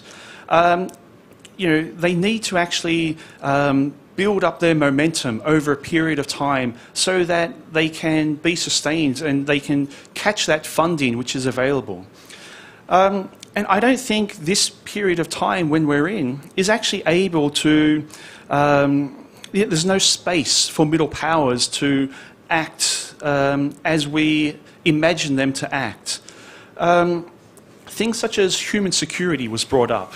Human security, incredibly important, and middle powers were very, very active on it during the 1990s. But the 1990s is a million miles away from today. The 1990s was a period when there was one major power, and that major power was willing to engage with the globe and willing to allow middle powers to have their space to uh, play more active roles. I can't imagine seeing middle powers being able to do anything like that today. The middle power moment has changed. Middle powers are going to have to transform in the way they behave. They're, they're going to find it more difficult to pursue active diplomacy they're going to find it much more difficult to pursue everything we accept as normal middle power behavior because that idea is set upon a totally different era. Okay, um, but I think that the, uh, when you compare the 1990s and 2020, in the uh, 1990s there was one single superpower. Mm-hmm. Then everything was the, uh, done by one single superpower in reality. Mm-hmm. But you are arguing that at the time, during that period, the role of the middle powers was more important. But think about the uh, current situation. There are two superpowers competing each other. Mm-hmm. Then I think that there, in a sense, there are more rooms for middle mm-hmm. powers to act more positively. You don't think so? No, not at all. Okay. Um, I think in a situation where you have two major powers competing against each other, middle powers ultimately will have to decide upon which side they want to follow. A middle power which rests in between the two major powers only ends up being split between the two. it ends up with internal divisions. Middle powers will ultimately have to choose which side they want to follow, and they will have to actually uh, support what side they believe has the best interests of global governance at hand. And um, that's the only way that middle powers can actually secure a much greater say in global affairs is through multilateralism, but they have to decide which form of multilateralism they believe is going to be in their interests. They can't waver between the two. Okay, I will give a chance to, to you. And I, uh, uh, Professor Kim mentioned uh, uh, the presence of two great powers uh, uh, that you know negatively affect middle power diplomacy. But you know, in 2020, but it is not the first time that there were two superpowers, you know, hindering the middle power diplomacy. Was, uh, there were, you know, United States and Soviet Union in 1970s and 80s. But you know, actually, there was a, uh, another time or another example that you know, middle power diplomacy was very successful.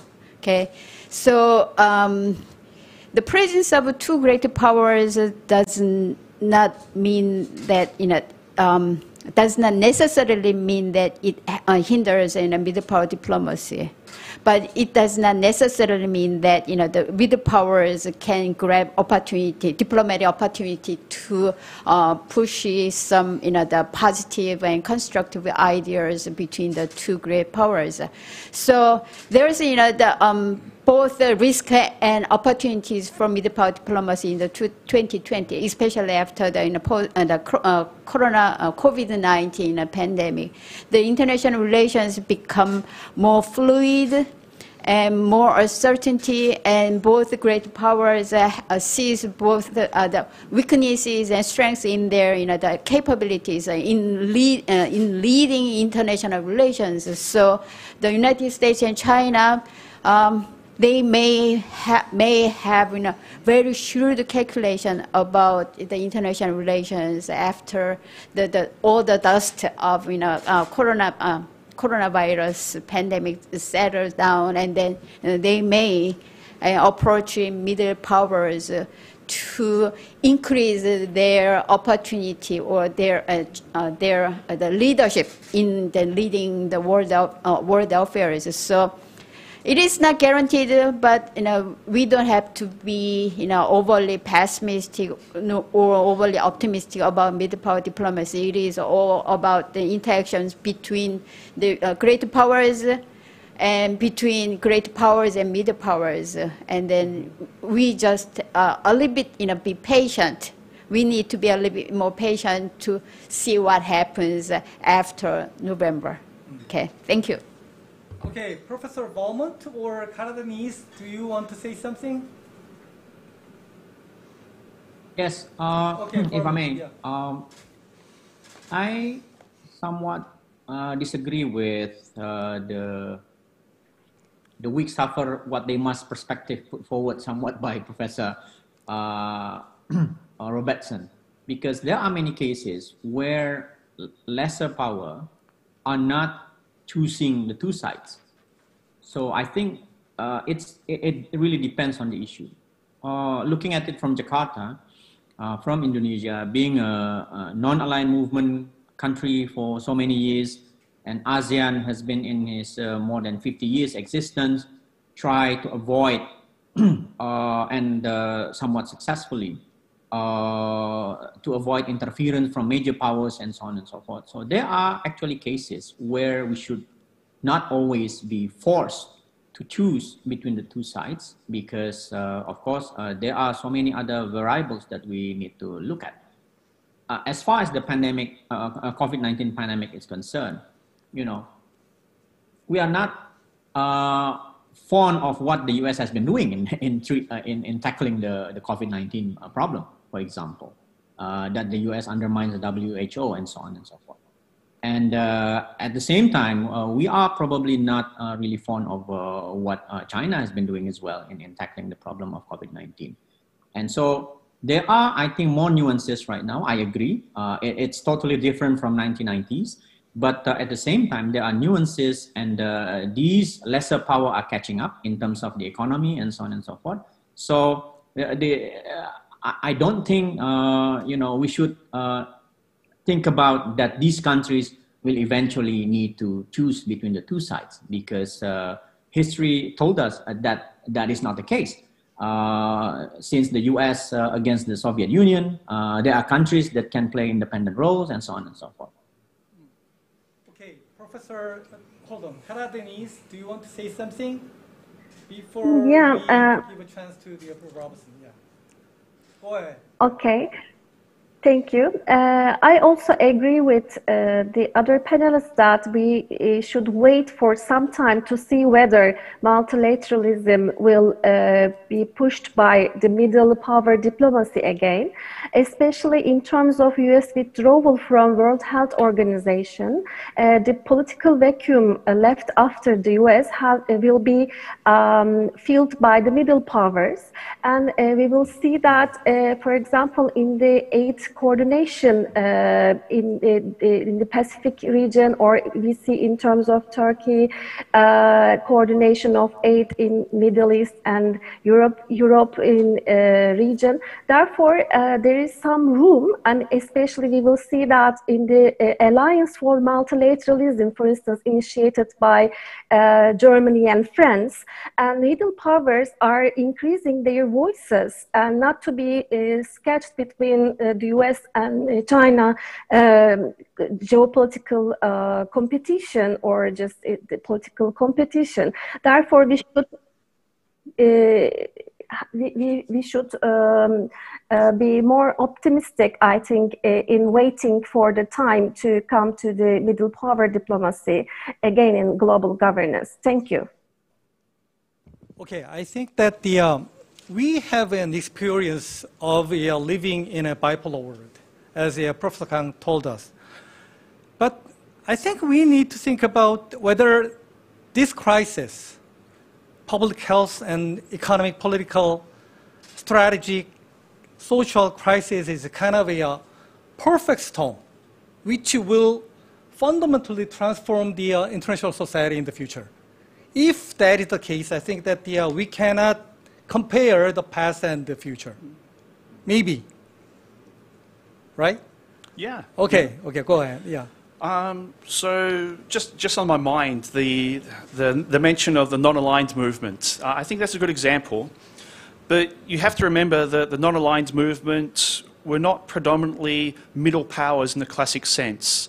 They didn't actually seek to punch above their weight. They didn't seek to use active diplomacy. And they didn't use any of the characteristics of what we normally consider as middle powers the Australia, Canada, Netherlands, yada, yada, yada. Um, they certainly were able to avoid being overly influenced by the major powers. And they did that through you know, um, thinking about and by adhering to their non aligned movement policies and ideas but middle powers are not in a position to do that. If a middle power wants to punch above its weight and influence global governance, if it wants to innovate, to facilitate, ultimately, sooner or later, it needs the support of a major power. So if you think of APEC, or if you think of the Cairns Group, or if you think of human security, any major middle power initiative, sooner or later, had to at least get some degree of support from a major power. Quite often, the major powers were very opposed at the beginning, but sooner or later, they had to get some degree of support or at least acquiescence from a major power. And, um, well, that's going to be much more difficult nowadays. Um, I mean, we've got one, you know, I mean, we're talking about we've got two major powers now, but really we don't. We have two powers that are disinterested in multilateralism. We have two powers that are fundamentally um, outside of traditions that we are used to. So, yeah, maybe come November it will be everything different. We don't know. But what can we do as a middle power, individually and collectively, in the competition between the uh, two superpowers? Well, that's it. Taking I... sides, only taking sides, making friends, making allies, making enemies. Is that all? I don't think so. No. There well, must be room for us to do, right? Well, that's it. I think the middle power moment is over. I think middle powers are going to be playing a much lower profile role as we go into the next uh, period of this strategic environment. middle powers have had their time, they've had their moments, but middle powers are, whether they like it or not, going to be playing a less significant role. And I think we've already seen parts of this. Um, we've seen a lot of middle power initiatives come to nothing over the last 10 years. We've seen some really good ideas. Um, so back in 2007, uh, Australia's Prime Minister Kevin Rudd had the idea of an Asia Pacific community, the idea of bringing together all the countries from the Asia Pacific and having a security community where they could discuss the problems that are, are passing right now. I mean, what a force, you know, what foresight, what a great idea. But it came to nothing. It came to nothing because the ability of middle powers to push their initiatives nowadays have decreased. Their capacity to act as innovators, facilitators, and mediators has decreased. Okay. Uh, I think uh, that's enough for us to, to discuss that, that, that question. I collected the question from the uh, online participants uh, beforehand, and the uh, most of the questions are related to the uh, COVID-19 crisis and the superpower competition between the United States and China. But there was one interesting question from one the online participant. That is about the difference of the roles of the middle powers between MIKTA countries and other middle power countries. What specific role can be played by MIKTA countries compared to the other middle powers. There can be other middle powers in the world, right? Then what kind of a uh, specific role can be played by MIKTA? Do you have any opinion on that? Well, I've already built myself up as um, somewhat of the opposition today. so I think it's probably better letting Jorge uh, answer that one. I personally don't think yes, that um, MIKTA is able to do anything different from other middle powers, uh, I'm afraid. Jorge? I would like to tackle that question. Yes, what we see today is, for example, within uh, G20, we have the G7, which are the industrialized, powerful countries. Uh, we have BRICS, which uh, has one superpower, China, but has four other middle powers. And you have MIKTA, uh, and there's a huge difference between BRICS and MIKTA. And for me, BRICS is uh, it's a group of countries which are against the status quo and want to change it in their own benefit. And on the other side, MIKTA countries are more status quo uh, countries which want to generate governance for a better uh, and more effective management of the international system. Uh, let me just say one word in terms of my agreement and disagreement with Professor Robertson. I agree with him that there is very, very little space in terms of middle power uh, diplomacy in one area, which is security. However, I completely disagree with him in the sense that there is no space in other areas, especially in the low politics areas, for middle power uh, diplomacy, specifically in terms of reconstructing the trade and investment systems after the COVID crisis, and more specifically in health issues. Health issues are not that important for superpowers, so middle powers don't have to choose. They actually can serve as agents of governance generation, specifically in the case of COVID. And the best example for this is the vaccine. If MIKTA countries or other middle powers or other constructive powers actually work together to make sure that the vaccine is a public good, which is readily available at a good price for everyone who needs it. That's something which is needed for the whole world because uh, COVID, uh, you get it whether you are from a rich country, a poor country, a middle power, a great power, a non-power, etc., etc. So there is a space in the low politic issues for great uh, diplomacy from middle powers. I agree with him. In security issues, it's more difficult, but not in practically every other issue. Okay, thank you very much. I will give one minute to Professor Kang. Yeah. Okay. Um, the, I'm not criticizing Professor you know, uh, Schiavon, but I don't think BRICS is a middle power. I mean, but I agree with him on that, you know, BRICS is a revisionist power. But I disagree with him on that you know, MIKTA is a status quo power either. So MIKTA is kind of in the improving power because uh, the MIKTA, all the five countries got benefited from the, uh, the current liberal international order, but it, it, uh, the, the liberal international order, you know, led by the United States, is not perfect. It had many good things, but it was not perfect. And, and as time changes, it needs certainly the improvement or reform. So the MIKTA is not revisionist power, neither you know uh, the status quo power. MIKTA is a kind of in the improving power, and make the in the international the liberal international order works for many more countries in the world. So I think uh, MIKTA as a middle power is in a, differentiated from other middle powers in that sense. Thank you. Okay, uh, as is always the case in other conferences and seminars, we have limited time. Then I think uh, we have to stop yeah. here.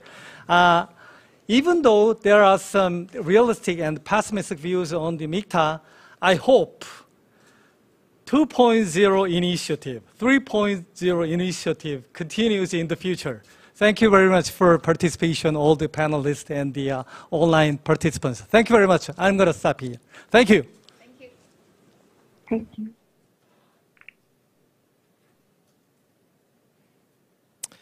Thanks a lot for all participants in the first session. It was really excellent presentation and discussion, and I, I really enjoyed it. And I also appreciate all the audience watching this webinar.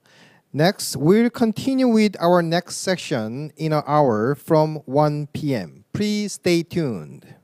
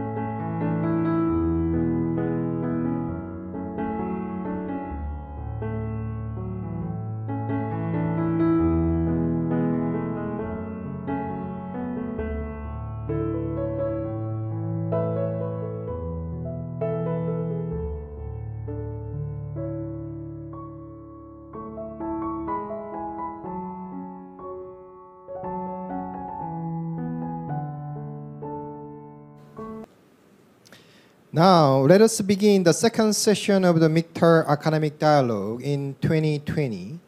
I would like to welcome all participants and audiences.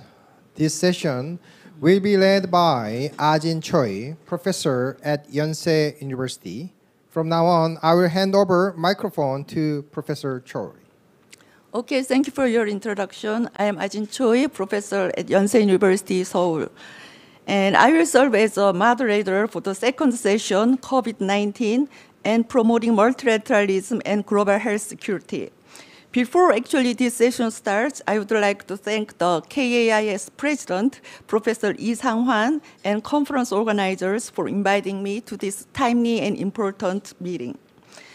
As you know, the first, the first session discussed the macro level change and uh, prospects of the post-COVID global order, but this second session will more focus on the practice practical and more concrete issues by looking at the role of the MIKTA in promoting multilateral health governance and cooperation.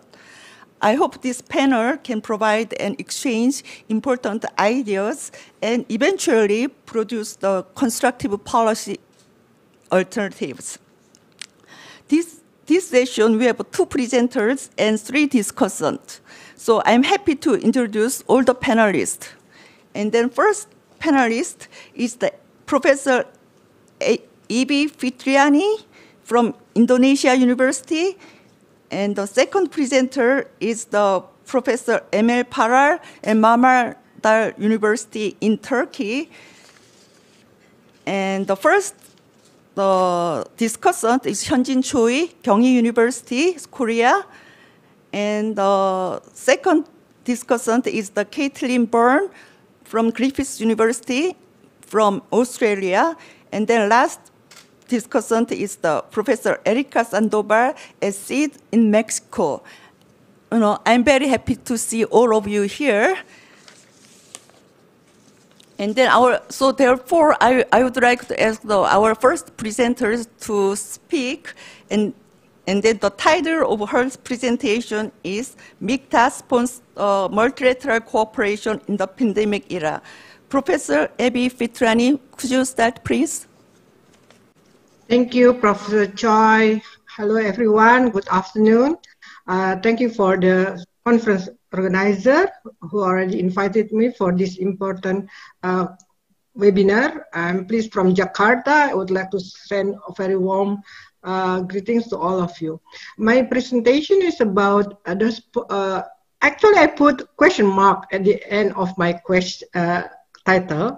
So it's I'm kind of asking, uh, can can MIKTA uh, form a multilateral cooperation, multilateral cooperation to to tackle challenges resulted from this pandemic, but to explain my uh, thoughts uh, better, I would like to use uh, the slide. Uh, so I will share with you my slides.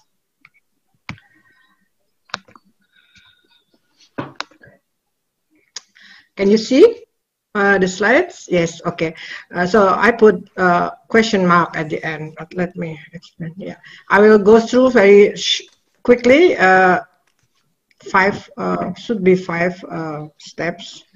Uh, just would like to see before I'm looking at MIKTA, uh, I would like to see the uh, the, the, the world in this uh, pandemic era, which is very special time in our history. Uh, and uh, whether I would like to thankful or not, we are now in the this kind of circumstances. And from previous session uh, this morning, there have been a a discussion, if I cannot see it's a, it's a debate about whether MICTA uh, still have time to materialize or to be a middle power. But I'm kind of agree with those who think that there is always possibility. Uh, big powers, con- uh, big powers competition is not the whole world. Uh, there is still room for MICTA for middle power uh, to uh, maneuver and to find a way And this is what I understand, my understanding of international relation in pandemic era. We uh, suddenly in the crisis of global healthcare system, not only in one or two countries, but across the country, not only in uh, underdeveloped countries, but even in the most advanced country experience that. So this is the first. And the second, we found that state very much inward looking now. Even the countries that used to be form a coalition or even in regional institutions, you can see uh, people, uh, countries now try to pro pro prioritize their own uh, needs and national interests. And uh, uh, uh, vaccine nationalism is one of the example of that. And of course, we then, because of this problem, we are following, we are watching now and experiencing now global economic crisis. And on the top of all those uh, very uh, difficult circumstances, we can still see the continuing strategic competition between major powers. It is not only in a in the in problem of the competing on the vaccine and uh, uh, and blaming where the virus come from but also uh, but also on the area that should not be discussed or not be not become the problem in this time like uh, things in uh, south china sea so this is a very very difficult circumstances and we experience the because our session will tackle on this uh, pandemic era I would like to the problem of our global health system. Uh, for sure, we have uh, capitalization of health services and medical equipments. And it's very much uh, remarkable because our world also have a majority of the world is poor and do not have access enough access or good access to the health service and medical equipments. And we have seen that not only in not only in uh, major countries but also in small countries. Uh, not sorry, not only in small countries but also in major countries happen, and uh, we can still see the future is not free from uh, health problems. And some of the epidemiologists already predict that there will be more and some more epidemic in the future. So actually, uh, what I think what we need is uh, the need for fair and inclusive global health governance. So our session uh, this time is very, I think, indeed uh, very in time. Uh, how about MIKTA? Uh, some discussion this morning has so this morning so session already saw some debate, but this is my position. we each of our our countries, MIKTA, Mexico, Indonesia, Korea, Turkey, and Australia, overwhelmed by our domestic health and economic problems not only because it is uh, we are not ready, but also there are so many complications domestically and uh, not only pressure from external but also pressure from internal society, especially in the domestic uh, democratic country. I found it's democratic country is more difficult. At least for Indonesia, it is much more difficult to handle this issue in a democratic circumstances. If you are in a authoritarian system, maybe it's easy to just impose rules and ban people and lockdown, but not in democratic country. You got a lot of protests. And so this is very challenging. And but uh, in on the uh, in amidst the circumstances, MIKTA countries still struggle for strategic autonomy. And this somehow was related to the debate this morning in the first session about whether MIKTA uh, can be uh, autonomy uh, apart from those two major powers. But for my, my position is, yes, uh, somehow we struggle for the strategic autonomy, but some manage to get it, but some not. Uh, we have to go, I don't think generalization for all middle powers that cannot avoid that uh, bipolar uh, circumstances uh, is the right thing to, to say. But for me, some of the middle powers manage to get it. That's that's depend on the tradition, philosophy, and history of that country. Some country do not see the possibility to be more independent because they're never independent since their indep- uh, since since their existence in their country. But some country manage uh, to get uh, experience and uh, to be more uh, strategically autonomy in their history. So this is one. And unfortunately, our MIKTA is not a close partnership. It is association several, last several years, but it is not yet a close partnership. Unless for some cases, and this is more on bilateral base, like Indonesia and Korea is quite close, and we have strategic partnership. And during this pandemic, uh, Korea helped Indonesia with some of the medical equipments. Indonesia also have special relation with Australia. Uh, we have also strategic partnership. We just finished uh, uh, CEPA. But apart from that, uh, as a part of MIKTA, five countries working together, uh, I don't think we have uh, achieved uh, what has been expected before. Uh, so, uh, in this kind of circumstances, uh, can we, MIKTA, promote multilateral cooperation in order to, to work especially toward the global, a better global health system? We, I think we have to see uh, our strength. And our strength is the, uh, still relevant as a group of middle power. MIKTA, I think, still relevant. Uh, apart from the, a lot of pessimism, uh, yes, I think still relevant because uh, it is the time uh, when the multilateral is needed and who has the potential to do it? Middle power. Who else? small power will be much more difficult. So as a country that have some capability, uh, especially and also leading in their respective region. Uh, MIKTA is still a relevant uh, a group of middle powers. And the second, the strength of MIKTA is the power of network. We have a lot of network already. Indonesia with Korea, Indonesia with uh, uh, Australia, Indonesia with Turkey have quite a lot of that maybe with Mexico, because of the distance quite far away, not as developed as the relation network relations with Korea and Australia. But I'm sure with more interaction and even discussion like this already put up in some networks. So I think the power of network among MIKTA has growing, has been growing. And the, sec- the third one, we have a soft image. We are not uh, such a, a aggressive, uh, in, not in an aggressive mode. We are friendly countries and we would like to cooperate.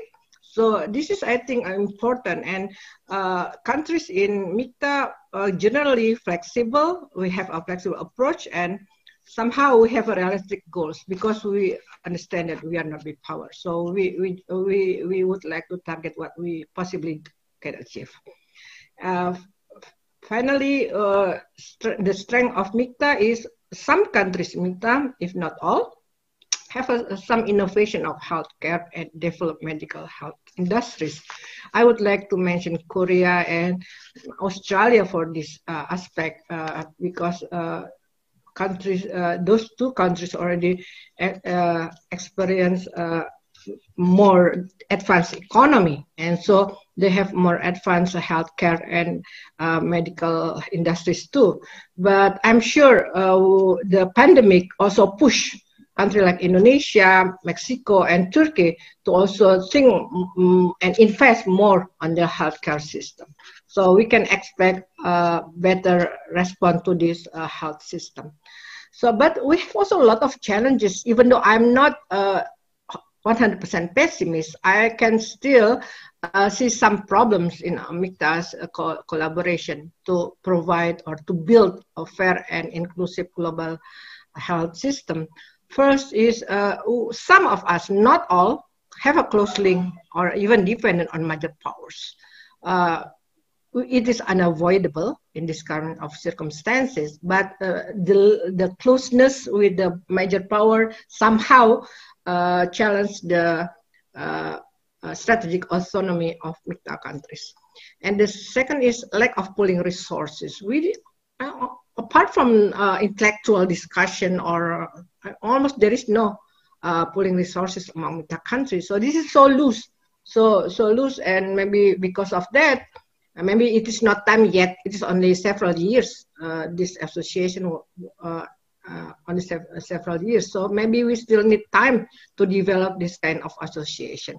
And because maybe we are in different area, there is still thin common interest. There's countries like Indonesia, Korea, and Australia that have more interaction in ASEAN plus plus uh, East in East Asia Summit, but uh, and even in ASEAN plus three or ASEAN plus one. But apart from that, especially with Mexico and, and Turkey, uh, the the interest is still very very thin. Uh, there is maybe because each of us uh, very uh, uh, engaged in our respective area. And the fourth is uh, there are also other mechanisms, regional associations. So MIKTA is not the the I have to say, uh, is not the first priority for Indonesia, for example.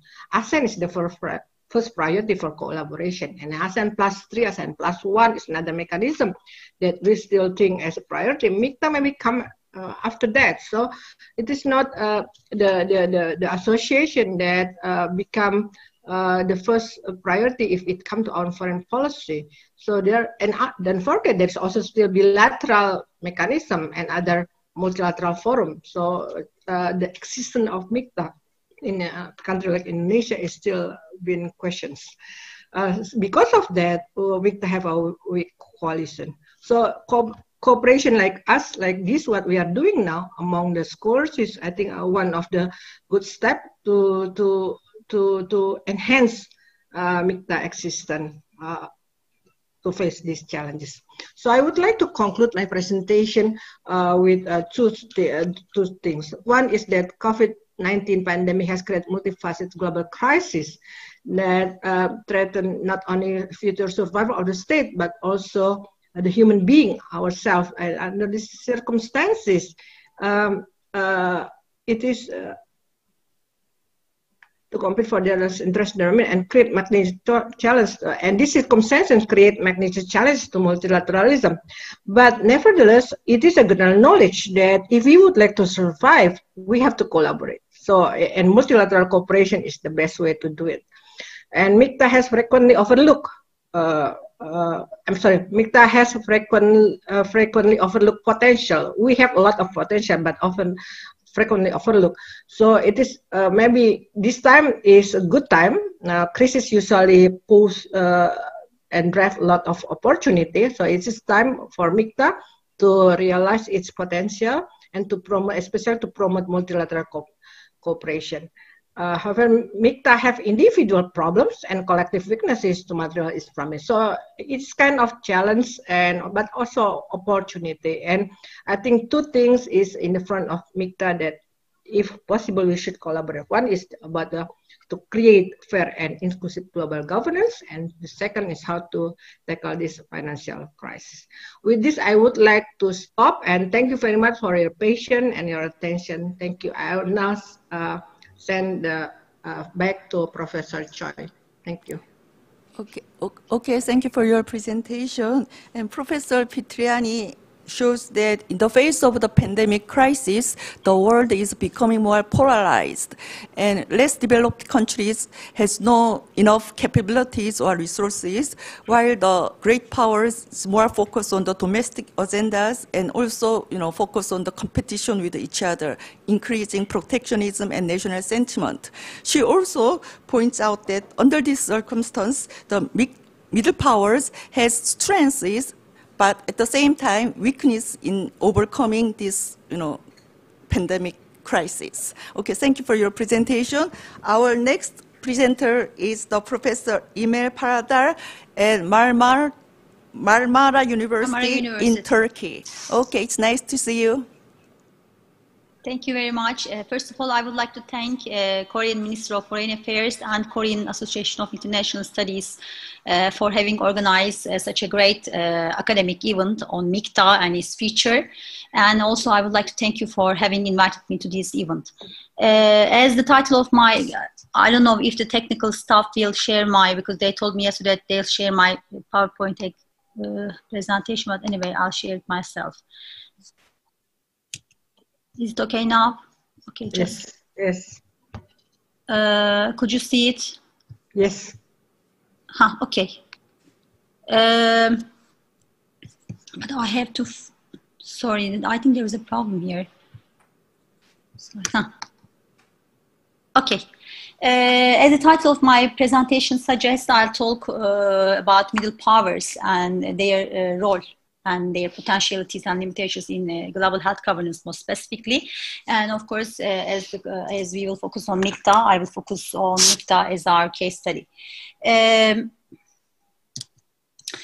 let's look at the outline of my presentation. First of all, I will uh, talk about bit, of course, uh, uh, and about the revival of middle power diplomacy, and I will investigate whether we will be able to um, investigate whether MIKTA can contribute to this revival and whether can uh, MIKTA uh, increase, uh, whether can MIKTA increase its visibility and status in global governance. Uh, in this post-corona era. Then I will try to draw a general picture of uh, MIKTA's uh, and MIKTA countries' position uh, in global health governance, and I'll provide some inward and outward uh, looking patterns of uh, MIKTA and MIKTA members' position in global health governance. Then I'll uh, investigate whether uh, global health governance can be a new, uh, new dish, niche diplomacy area uh, for MIKTA. Of course, here I will talk about its potentialities and limitations. And in the last part, I will try to give some recommendations. Um, in this part, uh, I will start by saying that uh, the coronavirus pandemic has made clear that there is room uh, for middle powers uh, to play a greater role in global governance, especially in global health governance. So my departing point is that, and I believe that, and I argue that um, the ongoing strategic unraveling in international system may allow middle powers to create a uh, common ground for both improve, improving political and economic ties among states and enc- encouraging trade and investment and combating global problems. So uh, uh, I am on the op- optimistic side, and I think that there is still room for middle powers to revive and to come together and to uh, respond together to global challenges like uh, COVID 19 virus. Uh, on the other hand, they have, of course, some limitations. first of all, middle powers will do better if they pull uh, their resources to, to, create a multilateral, multilateralist league uh, that will serve as an external bloc. And uh, as you know, uh, established institutions are too much reliant on US and China. And UN and, US and China dispute is widening and structures outside US and China, Chinese participations are becoming uh, even more important for an effective global governance. So for the effectiveness of, for an effective global, for an effective multilateralism, we need other structures, we need other powers who will uh, engage in this um, uh, new multilateral era. So MIKTA, I argue that MIKTA is one of these platforms as an informal uh, international institution.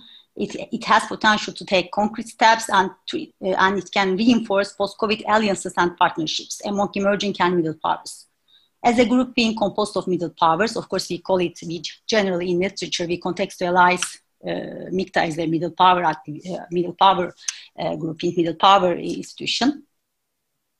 Uh, it can uh, revive uh, middle power activism uh, into main areas, global and sustainable development and global health governance. In fact, since 2013, since its foundation, MIKTA has failed to create impact both among its members and in other international institutions and platforms.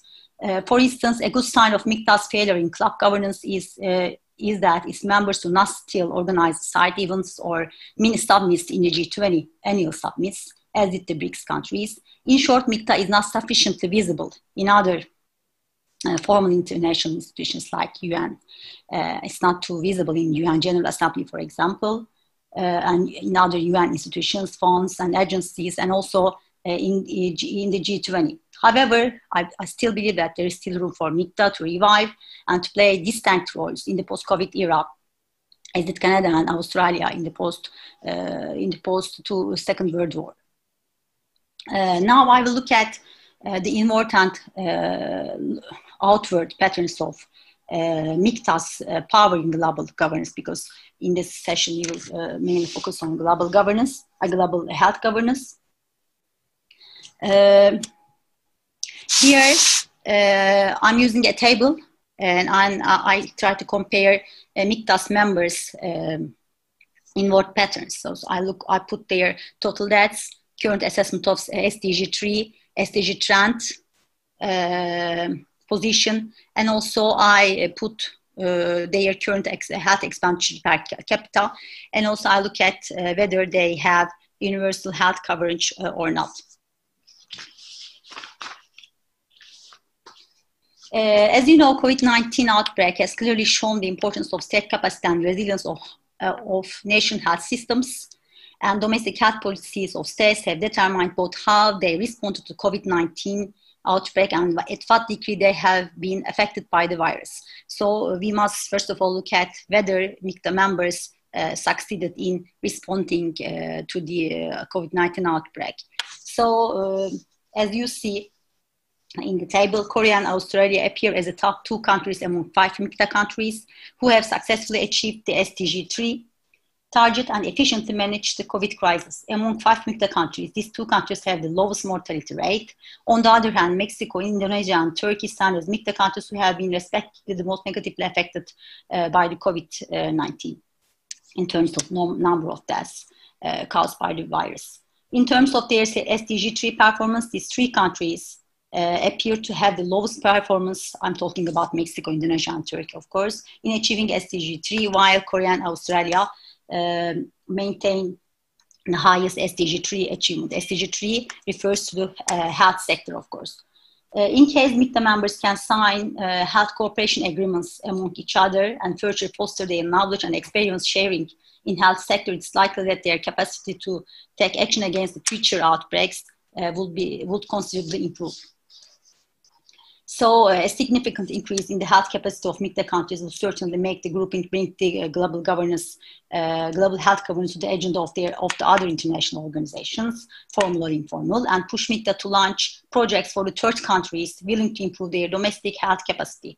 COVID-19 outbreak has also negatively influenced the implementation of SDG 3 um, at, at the national level. So uh, countries like uh, MIKTA members have potential uh, to uh, help other the third countries to improve their national capacities and, and surveillance capacities. When I look at universal health coverage of the MIKTA members, all the MIKTA members uh, have universal health coverage. Uh, among these five uh, MIKTA members, Mexico appears the one who achieved universal health coverage uh, Uh, the most recently uh, in 2019, Indonesia, I think, uh, uh could achieve uh, um, universal health coverage, although it has some financial finance, financing problems regarding universal health coverage. When I look at the outward looking patterns of MIKTA in global health governance, First of all, I look at MIKTA's commitment, MIKTA's commitment to uh, global health governance.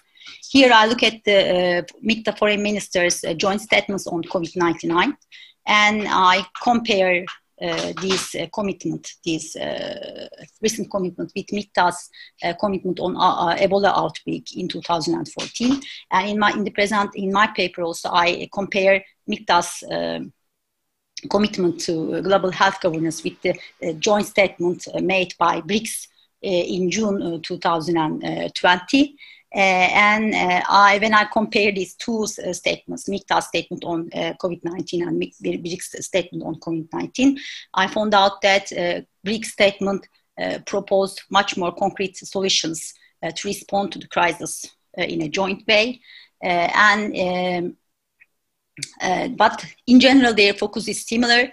Uh, they they focus on uh, better trade relations and how to and they uh, try to find responses common responses uh, to uh, cover uh, their trade laws uh, and they and different from uh, statement BRICS statement suggested to um, on MIKTA's statement underlined the necessity to uh, use uh, the loan, their emergency loan system. And uh, also they pointed out that a new development bank could help BRICS countries affected by the virus some sort of new funds. So these are uh, related with the MIKTA's commitment to uh, global health governance.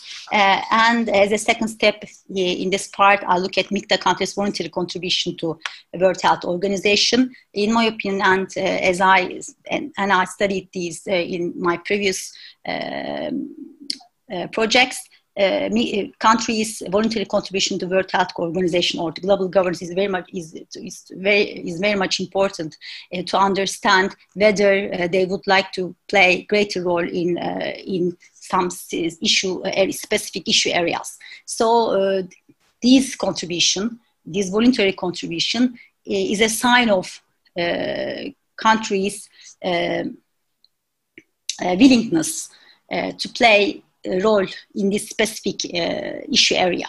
So when I look at uh, this commitment uh, of voluntary, voluntary contribution of uh, MIKTA countries, I see that South Korea took the first place. Then uh, it is followed by Australia, Turkey, Indonesia, and Mexico.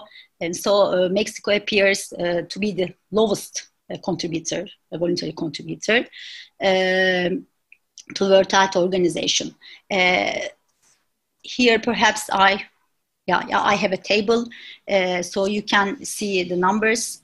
Uh, here I couldn't find relevant data uh, regarding uh, Mexico's uh, uh, um, voluntary contribution to World Health Organization. so when you look at the data, you'll understand which countries have willingness to play greater role in World Health Organization. Um, so in this part, I'll talk a little bit about the potentialities and limitations of MIKTA, and I'll investigate whether global health governance can be a new diplomacy, new niche diplomacy area for uh, the grouping. Um,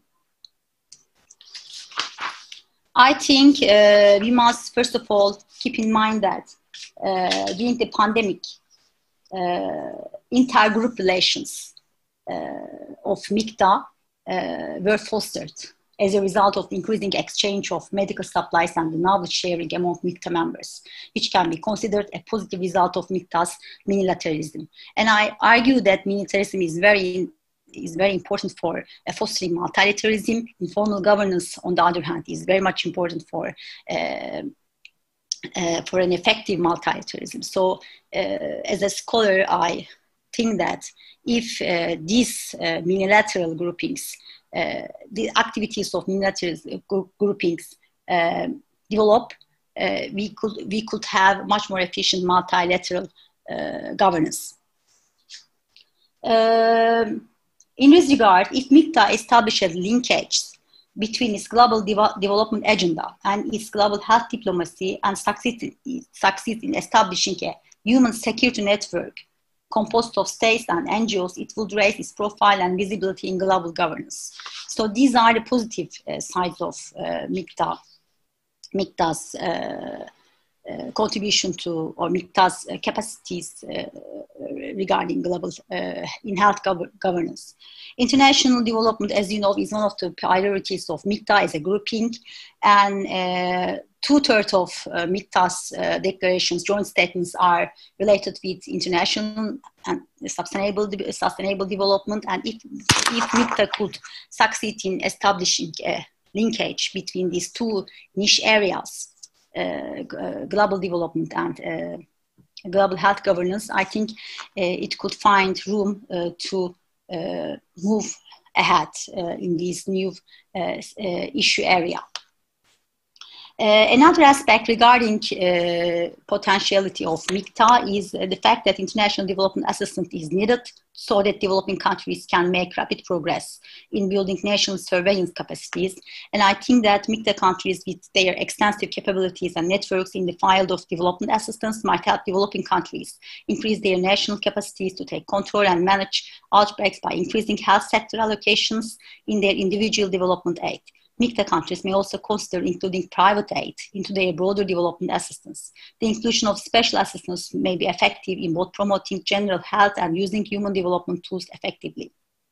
So I think that MIKTA countries have uh, are important players in the in the uh, in the international development area, and if they could uh, collaborate in this specific issue area to give common resp- response to the third countries which have less resources uh, I think uh, MIKTA can increase its status as a uh, club in global governance. So what is next for MIKTA in the post-pandemic time? Here I will uh, try to give some recommendations for MIKTA's adaptation to the new era. Uh, the pandemic has proven right that middle powers have capacity to balance their economic vulnerabilities with resilience, especially in the global health sector. Uh, and uh, the assessment of MIKTA's uh, inward and outward looking shows that MIKTA has potential to play a larger role uh, in global health governance. If global health governance will be added to MIKTA's agenda as a new policy era, area, despite its risks, of course, it can help energize and transform the platform into the post-pandemic era. The pandemic has proven right that middle powers have capacity to balance their economic vulnerabilities with their uh, strong uh, health sector, as I said. Uh, so MIKTA, if MIKTA countries and MIKTA itself can can succeed in narrowing the gap between uh, the, its rhetoric and uh, practice. It can assume new responsibilities in global health governance, most, most particularly in the field of development assistance for health. And this may take, uh, this, may, this can, can make MIKTA more visible and operational in global health governance.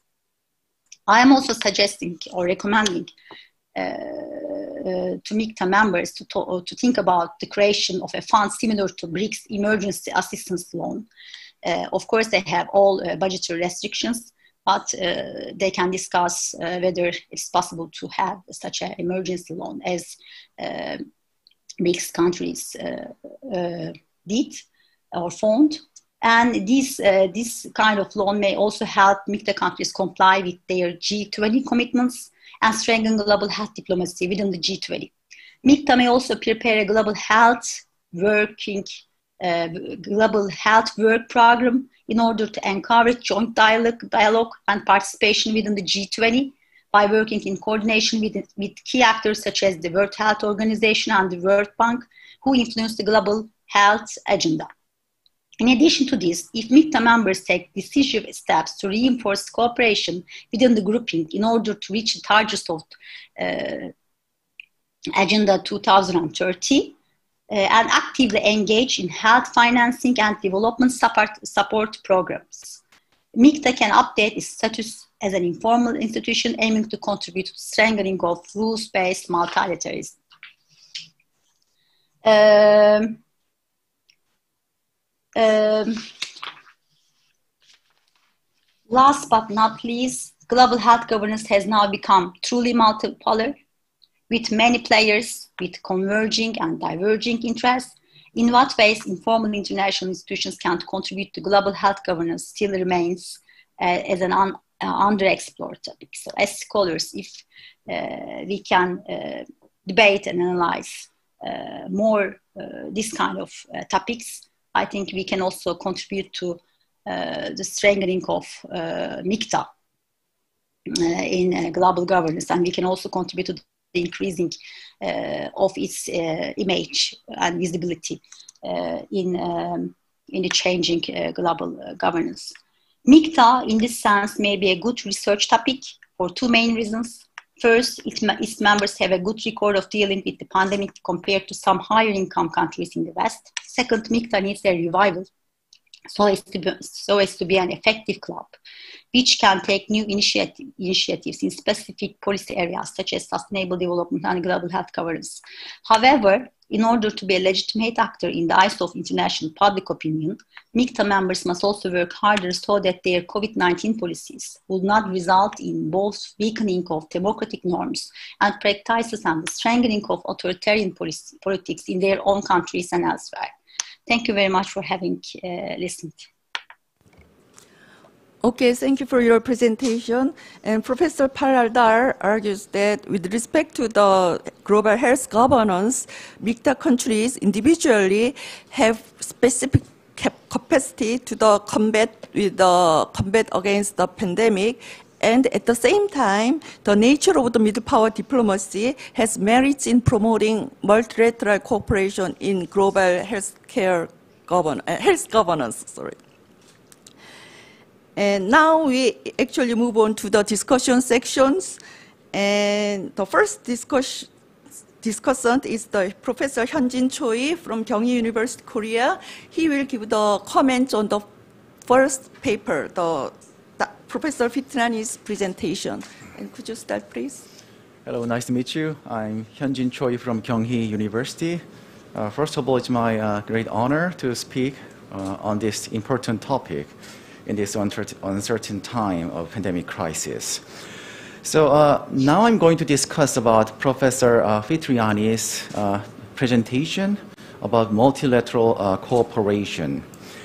So she pointed out some important issues about some challenges for multilateral cooperation, such as inward-looking countries seeking selfish interests, and also uh, many countries are uh, seeking strategic competition as well.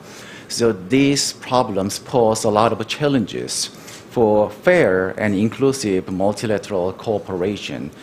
Uh, so, uh, as noted by Professor uh, Fitriani, this pandemic crisis can be uh, overcome only through multilateral cooperation. And I believe that no one would deny the importance of a fair and inclusive global health governance in this uncertain time. And we, the members of MIKTA, must take a progress towards such an ideal, but the reality is much more complicated.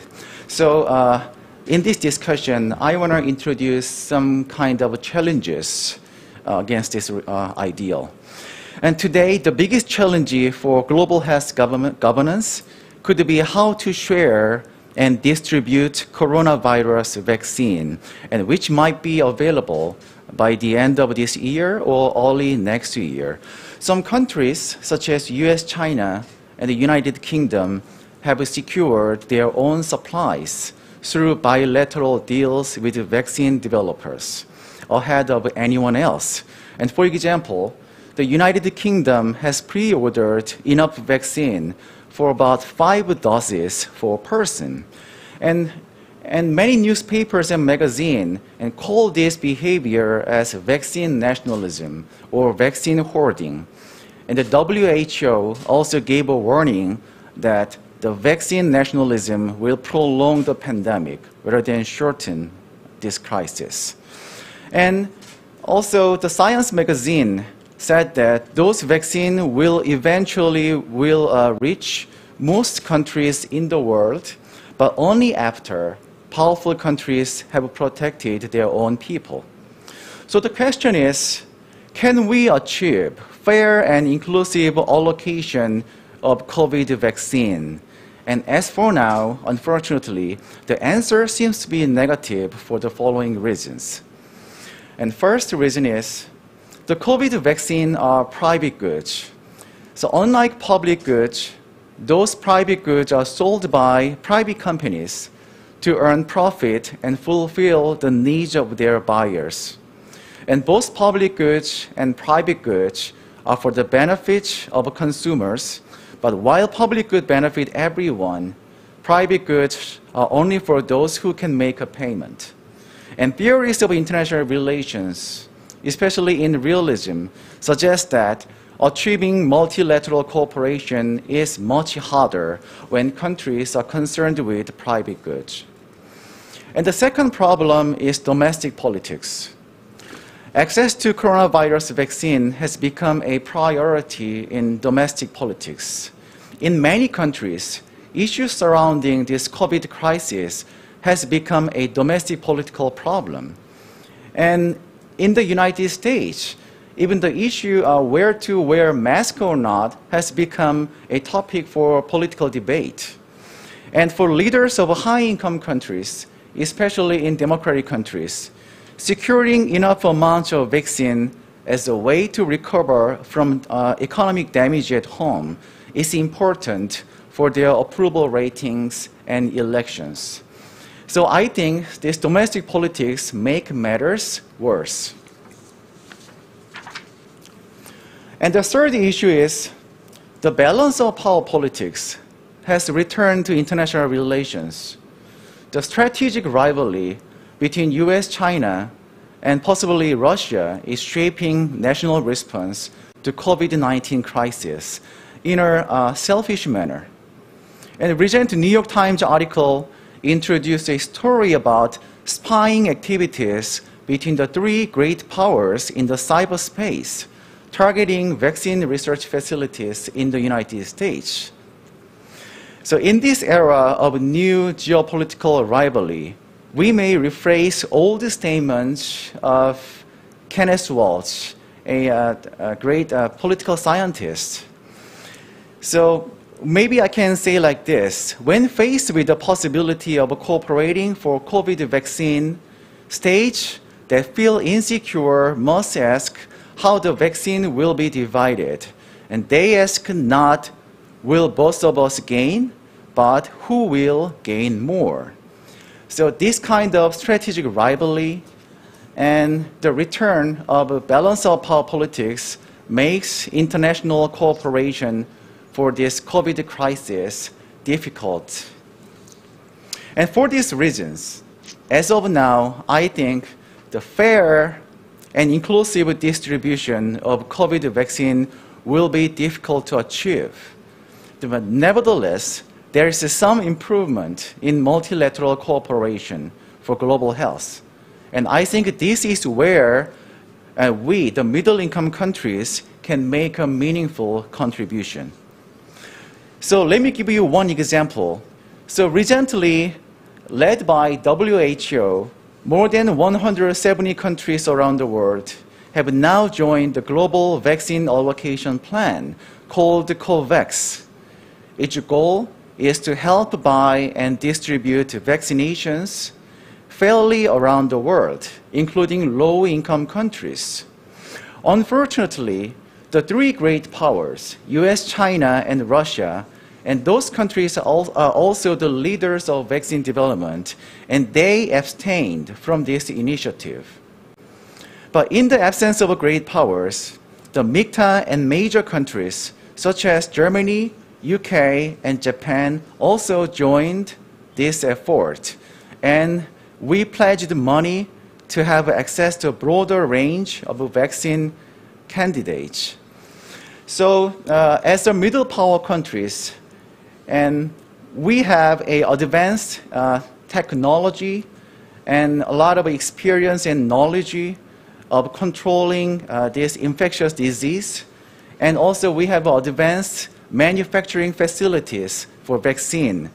And therefore, although it is a tough time for international cooperation, but we can make a contribution for the fair and inclusive uh, distribution of vaccine.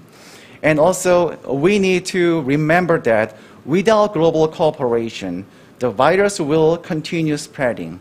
And therefore, this crisis can give us a lot of challenges for multilateral cooperation.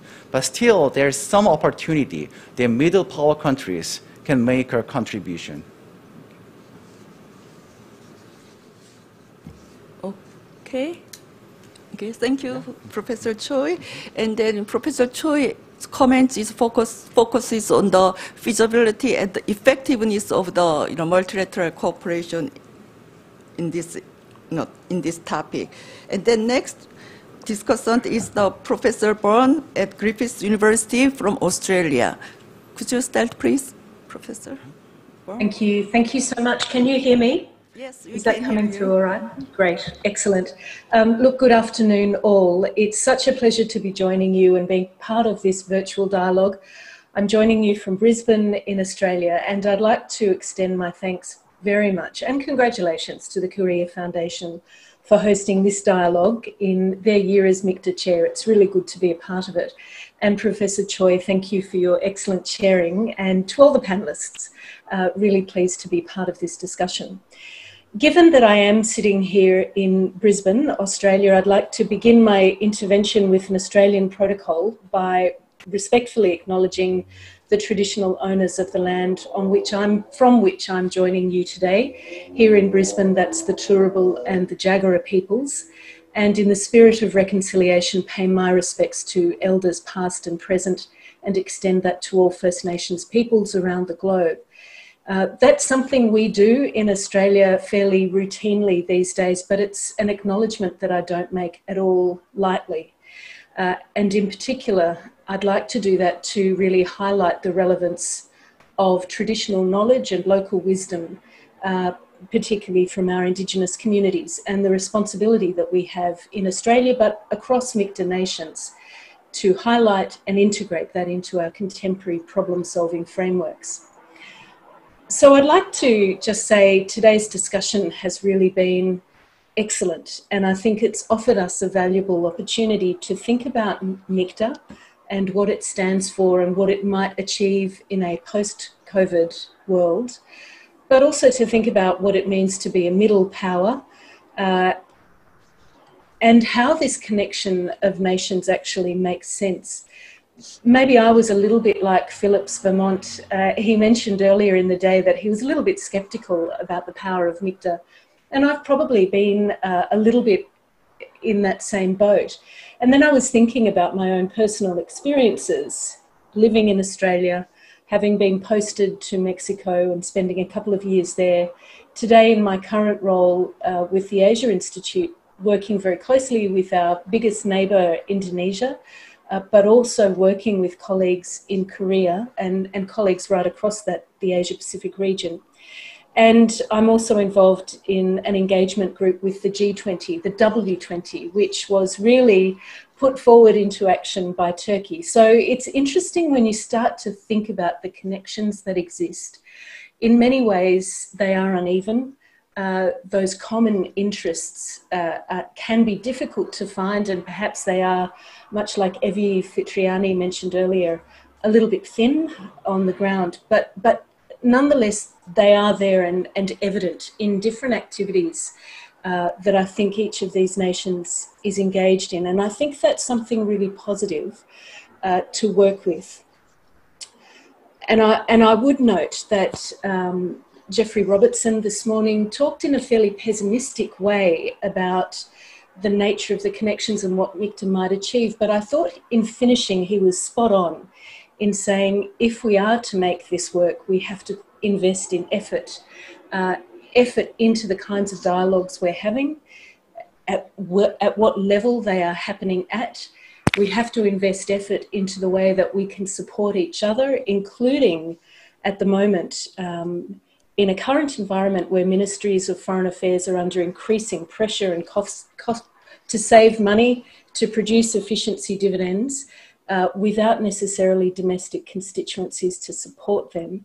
Uh, and additionally, where diplomacy is increasingly undervalued, uh, diplomacy not just in its traditional sense, but of course across a number of public uh, dimensions as well. And I think Korea is well placed uh, to advance that sense of value in diplomacy. So I think we are in a really difficult uh, situation today in rethinking or reimagining the kind of contribution that MIKTA might make in a post-COVID world, in indeed not just in responding to COVID-19, but in recovery from it. Um, and to this end, I've been asked to comment on uh, my fellow panelist Emel's paper, and I have to say, I'm in complete agreement with your paper, Emel. I thought, you know, what you have done is given us a pathway, a, a model for thinking about what MIKTA might take forward in the next couple of years with a particular focus on niche diplomacy through, health, through the lens of health governance. I thought that the approach that you've taken to actually justifying this idea looking at the inward and outward patterns of activity, uh, of compliance, of behaviour, is absolutely critical. And one of the things that I had noticed in going over the past seven years worth of MIKTA activity and dialogue, whether it was at a foreign minister level, at a senior official level, or at an academic level, uh, the, there is such an emphasis on very idealistic, lofty statements of commitment and shared values, but very little self reflection on where each of these nations might be actually coming in to an issue from. And I think it's particularly important for us today in a world where national uh, and domestic priorities are often very blurred with our international activity and behaviours and priorities. We have to find a way to actually look both inwardly uh, and examine our priorities inwardly and our behaviours and outcomes and what that, that means and says about our international behaviours. So I think that's actually a model that could be taken forward in the MIKTA process. It's something that we also see at play in the G20 process. And there is uh, excellent work done by the G20 Research Organisation to map and monitor compliance of G20 nations with the commitments that they uh, make through the Leaders Summit each year. And I think that's something that we should be applying if MIKTA is to move forward and to be practical uh, and to have impact on the ground. I would absolutely agree, and I think Emel was reflecting uh, the discussion from earlier in the day as well. That when you look at what MIKTA has achieved, it is uneven, it is patchy, and impact and effectiveness is not particularly evident in any given field. Um, there are some good statements that have been made, but, but if you look at the activities, particularly around the edges of large multilateral fora, you know, it's, it's a very weak kind of contribution. And that could well be because of an agenda that is simply too unwieldy, that changes from year to year, and that is often driven from issue to issue. So, by focusing in on a common issue of concern and global health uh, governance and security, I think, is one that is not just relevant but timely, uh, where there are complementarities across the different nations, and I think Mel has, has demonstrated that, but there are also gaps, uh, both in domestic and international behaviours, where MIKTA uh, may well have an opportunity to drive the agenda forward in a constructive way. And I would also agree that the G20 provides a a, a mechanism that each of the MIKTA nations can contribute to, not just through the leaders' fora and through the different uh, task forces within that G20 structure, but also through those different engagement groups, whether that is civil society, business, uh, looking at women, and looking at young people, all groups that have particular interests in how we handle health governance and security going forward. And some of those groups that are particularly vulnerable, and I'm thinking in particular about women, um, business in a small SME and micro capacity, and young people. Um, so, in fact, potentially, rather than the UN, it is in the G20 that the MIKTA coalition derives the greatest strength so, if I were to add a couple of things to uh, this particular health governance agenda going forward, and, and, nothing here is out of step with what Emel has put forward already, uh, potentially just to accentuate or, or highlight additional ideas, uh, I would suggest there's a real opportunity here to widen the dialogue beyond political leaders, uh, beyond senior officials that uh, tend to be in a very general capacity towards experts. Uh, academics in the international relations and diplomacy space, sure, but also experts in our science and health spaces as well. Potentially, even also to, um, if we're thinking about global health governance, to looking at how hospitals you know, where can we bring a dialogue between hospitals that are achieving outcomes on the ground as well so that they can share best practice and knowledge. And there are those networks, uh, particularly through the One Health network, that exist that could really be developed. Secondly, I think looking to innovative collaborations. Um, again, not just talking about what we're each doing in a research perspective, but actually looking to fund and drive forward collaborative research uh, and practice, again, focusing in on that health, hospital, community health space.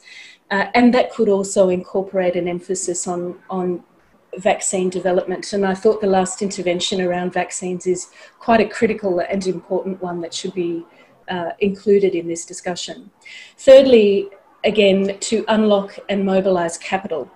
Um, we often ask and look to governments to contribute funds uh, for capital investment. I think we should also be involving the private sector in these conversations and philanthropic organisations as well, and thinking creatively about how those funds might be. Um, might be utilised and invested for collaborative outcomes.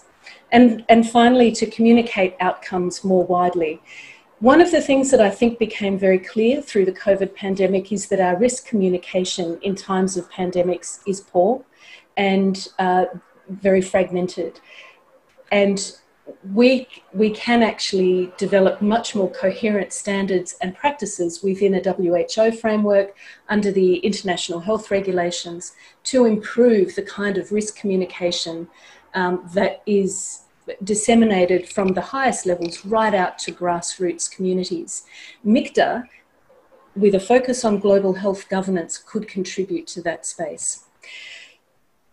Finally, just to conclude, um, I think this is an important agenda item, not just because it's timely and relevant now, but because MIKTA is at a point in its existence where being able to demonstrate a track record, being able to demonstrate a common purpose and outcomes is critical to its ongoing existence. But I don't think it should stop there. And I think if, if we are able to strategize and cast forward, there is an opportunity to lift ambition. Human health cannot be considered in isolation. And the devastating and unprecedented impact of COVID 19 underscores the urgency for global cooperation, not just in this health space, but across social, economic, and environmental challenges. Uh, so, looking at how we might underpin human with planetary health could be something that MIKTA might contribute to in the future. As governments shift from their response into a recovery mode and think about the opportunities for cooperation, we might think about the opportunity to deliver a double dividend outcome maximizing the investments that we're each making now into economic recovery to achieve better health outcomes, but also climate friendly, sustainable growth on local, regional, and global scales. And the need for this has never been more compelling. Australia and Indonesia have some, some good uh, examples where they're operating together in some of these areas. I think that can easily be be shared across the MIKTA nations um, so that each is able to support the other through collaborative research, through capacity building, and through shared examples of good practice. Working together through formal and informal diplomatic mechanisms, through public and traditional diplomacy, we should be looking to a longer term vision to lift ambitions right across the globe and to bring substance to the idea that someone mentioned much earlier around how we can go about building back better. So I'll leave it there and um, pass on back to the chair, Professor Choi. Okay, thank you for your comments. And the Professor Bourne actually argues that the she actually agree with that the middle power has a lot of potential in promoting multilateral cooperation, but we need to focus on the the issues of the compliance and the commitment. And then also she provided uh, proposed very useful suggestions for promoting multilateral cooperation by the middle powers. And uh, our last the discussant is the Professor Erika Ruiz Sandoval, a CIDE from Mexico, and then she will give the comments on both presentations. And could you start, please? Thank you very much, Professor Choi. Um, it's a pleasure to be here, and I thank all the organizers uh, for having us meet, even if it's through through Zoom. But it's always uh, worth it to exchange ideas. Um, I also have to say I I, I have a, a, close relationship with MIKTA because I've worked with it from both an academic perspective and a public policy perspective. Um, the report by which we decided to participate in MIKTA in Mexico uh, was basically written on my desk. And um, I was also a senior official for MIKTA. So I do know both worlds. I know how we academics try and, and um, give attributes to these creations uh, in many ways, and sometimes are frustrated by the fact that there's a capabilities expectations gap that we don't seem to understand. But I've also worked with it from the public policy perspective, and I know it's hard uh, to move the car forward and, and convince people that this is a useful resource. Um, I have to say that COVID 19, uh, and as, we, as we have seen through the discussions during the whole day, um, has basically revealed um, many things about the world we live in that perhaps we knew deep, deep uh, down inside us, but we were not willing to acknowledge. Uh, I think at this point in time, it was as if we went through an x ray machine and finally discovered that we have some tumors, some broken bones, and, and some things lacking that we need to fix if we want to continue with our lives in terms of the general international community. Um, I think we also tend to say that we're all in this together. Um, yes, we are going through the same storm, but we're not all in the same boat. And I think that's something that we need to keep in mind. Uh, even within MIKTA, we're not in the same boat. I think uh, Professor Parlar's tables are very revealing in terms of the differences uh, that the pandemic has created among our countries. Uh, the number of deceased people is definitely not comparable from Mexico to Korea, for example. I mean, Korea is talking about 300 something deaths, while we're uh, the, the data for today is 72,000 dead people as acknowledged by the government. So we're in very different universes in that sense. Um, I think uh, we're depending perhaps too much on historical analogies, and we're trying to find our way through these historical analogies. But we're going through a very new and different uh, era, uh, and we're moving towards the unknown, basically, and that creates a lot of uncertainty and of fear.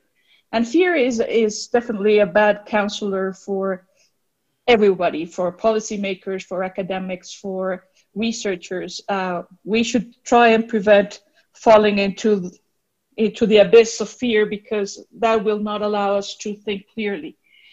The other danger, I think, and I've and we've seen it through um, the discussions today, is that we're thinking from a static perspective.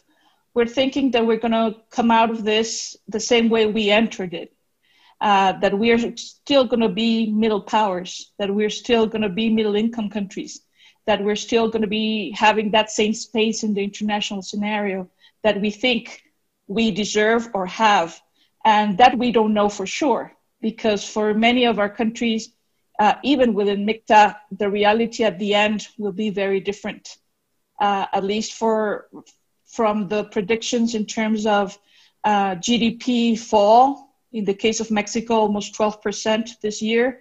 Uh, the number of poor people that are going to enter that sector of the population is going to be huge. We're talking about 10 million in Mexico. So I think that positions us in a very different place from the one we had in 2013 when we started talking about MIKTA. Um, I think also that with MIKTA, we've taken a really long time to build MIKTA. Uh, that is not a criticism, it's a fact. Uh, we've had a lot of trouble trying to define it. What is it? We just keep spelling it out. What's MIKTA? Well, it's Mexico, Indonesia, Korea, Turkey, and Australia, but we're still having trouble saying if it's a partnership, if it's a if it's an informal grouping, if it's a space. Uh, in Spanish, we call it a space, whatever that means. Uh, and it gives us a lot of trouble if we don't even know what we are and what we're here for. Um, definitions also include that we're the bathroom break group from the G20. Uh, well, that's that's okay, but we still need to do something else. And and we've done a lot of soul searching, and I think we can see that through all the communiques and the statements we've published. Uh, as MIKTA, I mean, we've talked about everything: terrorism, Ebola, um, you know, catastrophes, now COVID 19. We're trying to find our, our place and, and thinking about global self governance as a possible niche is a good idea. I think it, it's, it's the topic du jour. Uh, we definitely could find a place there. But we, all, we cannot forget that it's being geopoliticized. Uh, health it has become another tool of geopolitics.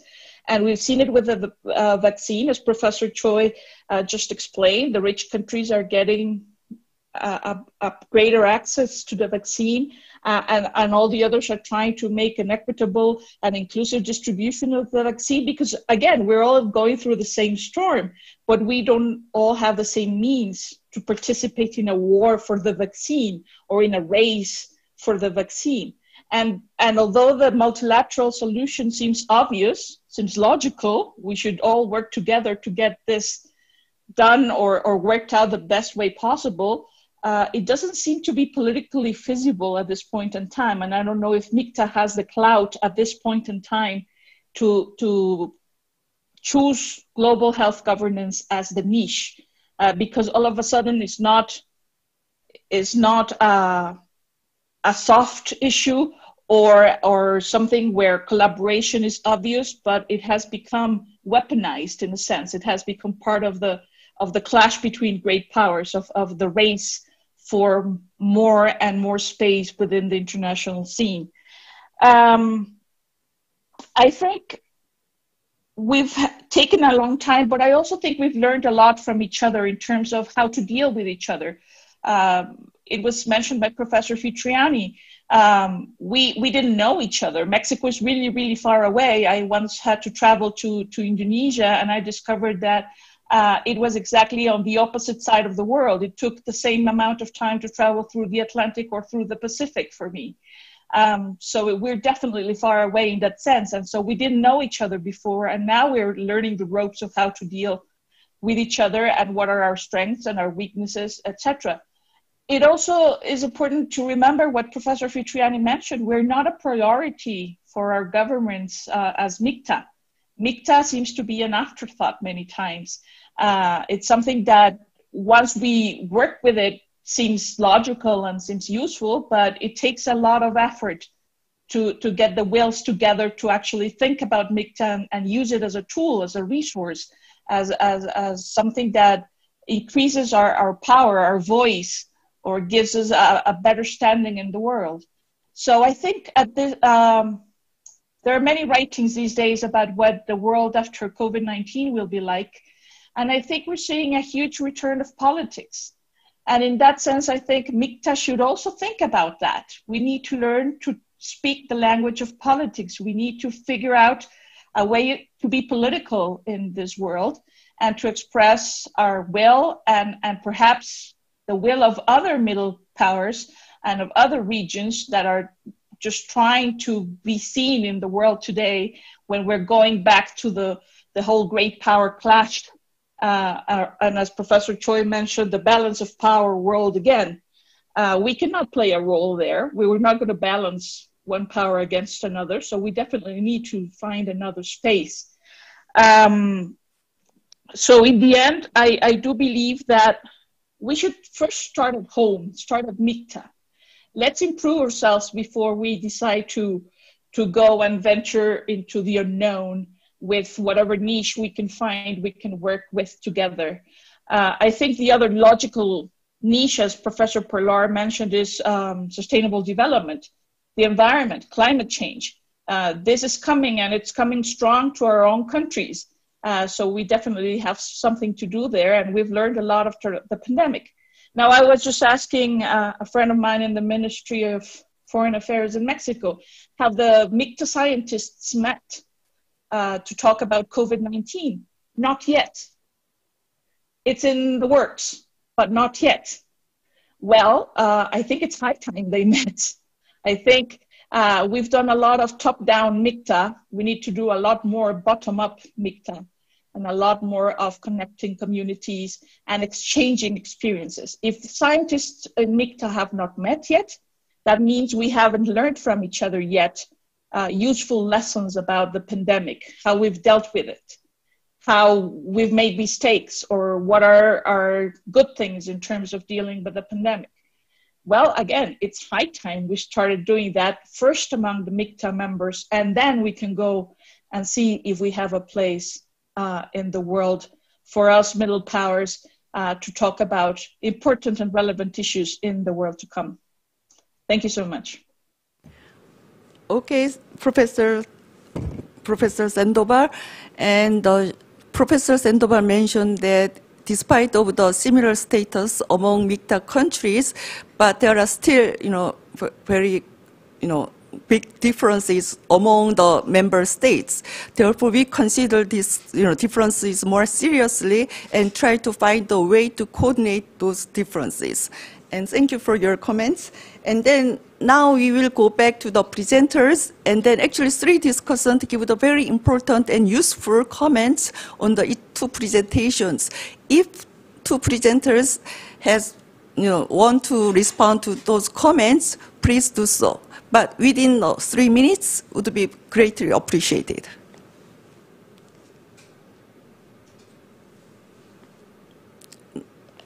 If Thank Dr. Fitriani, yeah. Sorry. Yes. Thank you, Professor Choi, and thank you, Professor uh, Choi Hyun Jun, for commenting on my presentation.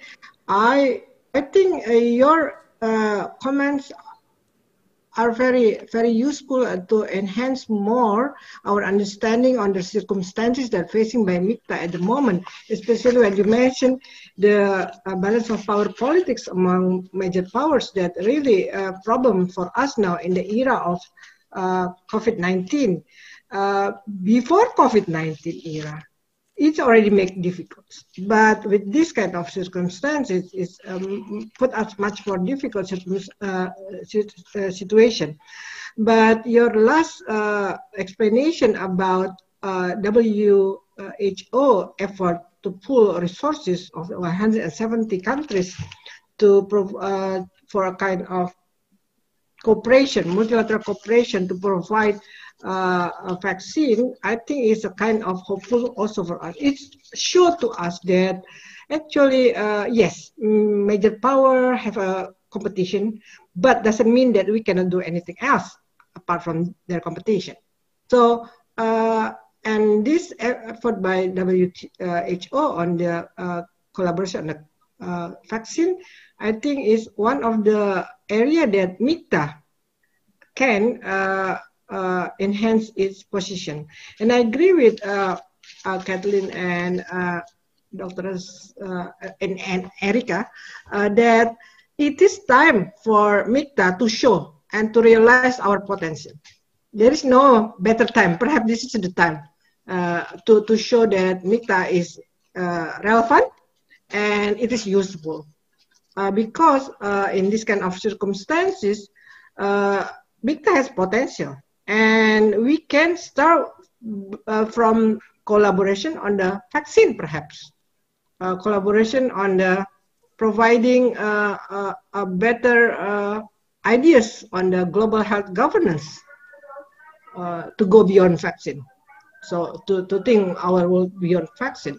But I think maybe in the short term, thinking about how can these five countries in MIKTA can also sorry, this is uh, Friday morning uh, time, so it's very noisy in, in Jakarta in Indonesia, is particularly. I think it's so. Uh, in this uh, COVID era, I think uh, MIKTA can also uh, collaborate to push forward some some some arrangement for a fair access and inclusive access for the vaccine. Maybe we should push uh, Minister of Health in each country, or maybe scholars on public health in each of our country to start to meet together. I can encourage my colleague from the Faculty of Public Health to, to, to get in touch, or maybe if we can facilitate them to get in touch and start discussion. Start discussion, how can uh, because it is their area, public health, but maybe we can support them from behind. Uh, start thinking about more possibility for, for these five countries to collaborate. And then later on, maybe uh, scholars like us in international relations can join them to discuss on uh, what we think uh, more fair and global governance uh, for the future. So just uh, my response is very much uh, start to pin down our macro uh, discussion to a more realistic or maybe possible step ahead for MIKTA to show its relevance. So thank you again for all uh, panelists for your uh, commenter. I appreciate it. Thank you very much. Okay. Next, Dr. Parlar Dal, do you have a, yeah. Actually, could you turn on the, Dr. Parlar Dal, we cannot hear you. Okay. Okay, thank you. Uh, I think they, yeah, they did. Thank you very much for your comments. Uh, first of all, I would like to thank uh, Caitlin and Erika for their fruitful comments uh, to my paper. And I fully share with their uh, suggestions, especially with Catherine's suggestion about, um, about preparing compliance reports. Perhaps, uh, I don't know, in two, two years ago when I was first invited to a MIKTA uh, Uh, academic dialogue by an Indonesian uh, colleague working in the Minister of Indonesian Minister of Foreign Affairs. Uh, I had uh, written uh, in my email that perhaps we can think of establishing a sort of MIKTA working group and trying to publish compliance reports as did University of Toronto as did uh, by university as as uh, John Kirton and his team are doing any uh, after annual each annual summit.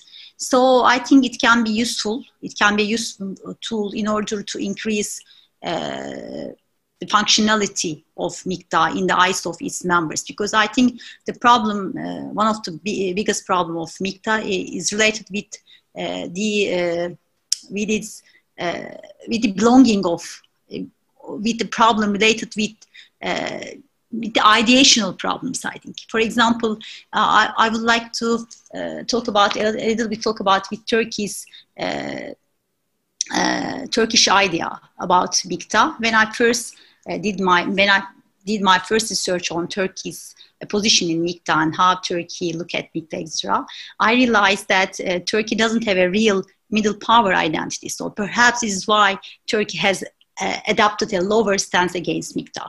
So this kind of socialization, socialization problems exist among members. So uh, MIKTA, please, uh, as scholars, we must accept uh, MIKTA as an evolving structure, as an evolving grouping. So uh, socialization is still uh, ongoing.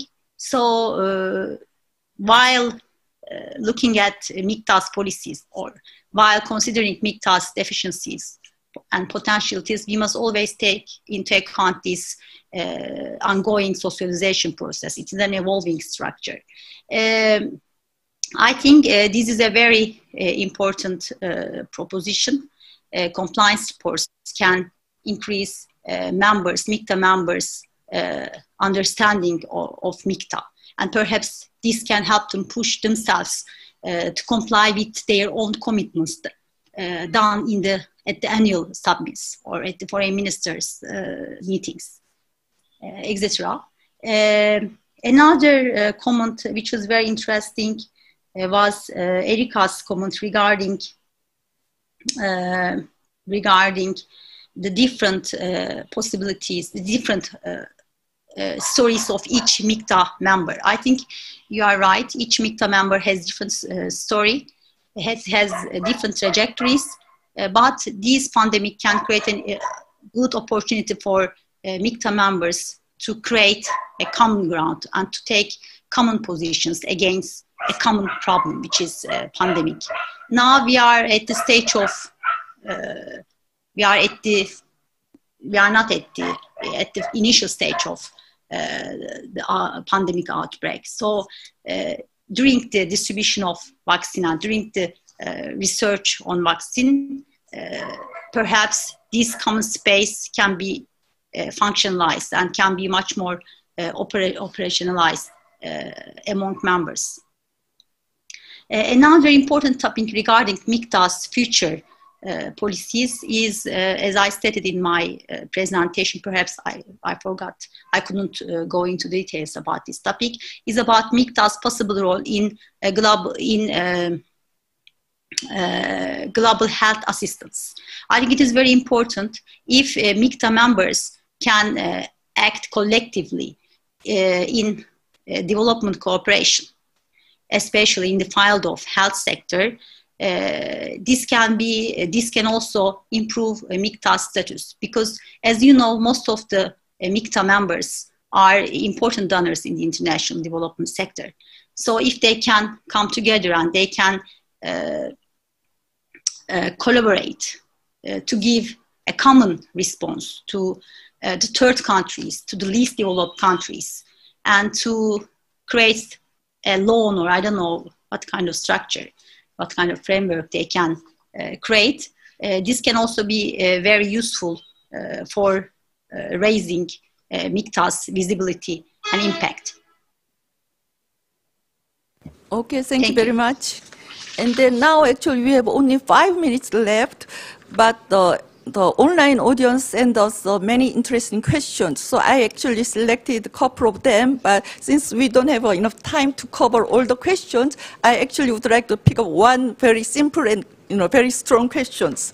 So the question is what would be the most urgent task for this MIKTA cooperation in terms of the, the health you know, governance?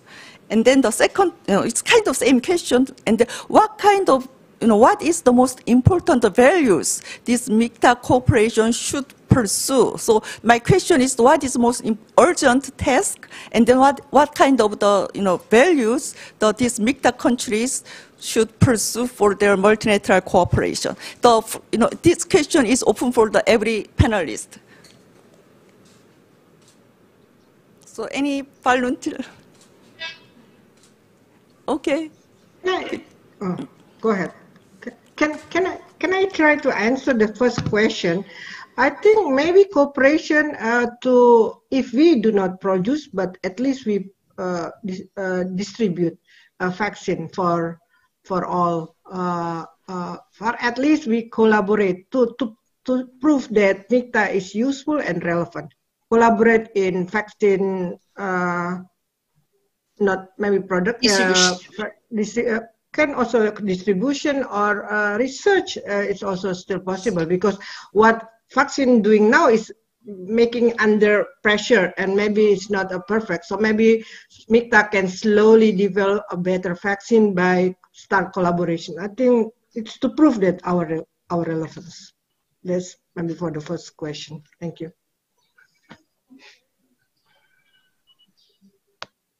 Maybe I'll jump in as well now. Oh, sorry, Professor Choi, were you speaking? Okay. Um, I, I, wonder if there's an opportunity for MIKTA nations to fairly urgently share experiences on test and tracing. One of the things I thought was so interesting is the very different experiences uh, that have occurred across the different MIKTA countries. And yet we have also all had spikes in outbreaks in different parts and we've responded to those differently.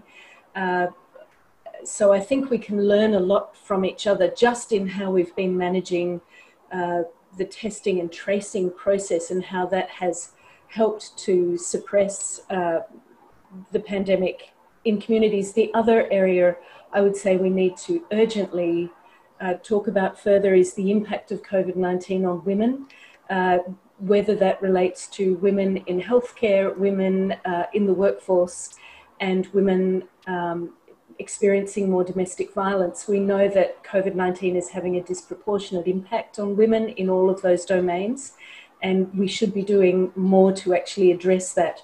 Uh, I think that will be a key issue for the G20, hopefully, uh, going forward. Then that's something we could potentially get some traction on. Okay, thank you. And actually, time's up. So this is all for this session. And I would like to thank you all the panelists and audiences for their active participation. And I hope all of us, all of you, can stay healthy and strong. And thank you very much. Thank you, moderator. Thank you. Great to meet you. Thank you. All right. Uh, thank you for thank you all for sharing your knowledge and views with us today. For the wrap up, I would like to invite Professor Sangwan Lee again to the stage. Please welcome him again. Thank you very much. Uh, I think it, it passed midnight uh, in Mexico, I think so. Uh, anyway, uh, thank you very much for staying on the line until now. Uh, today, today it's, it, it's time. It's time to wrap up today's sessions uh, shortly. Uh, today we deal with uh, post-COVID-19 global uh, order and MIKTA's role as a middle power partnership. All presenters and the panelists expressed both expectation and concern for the future of MIKTA.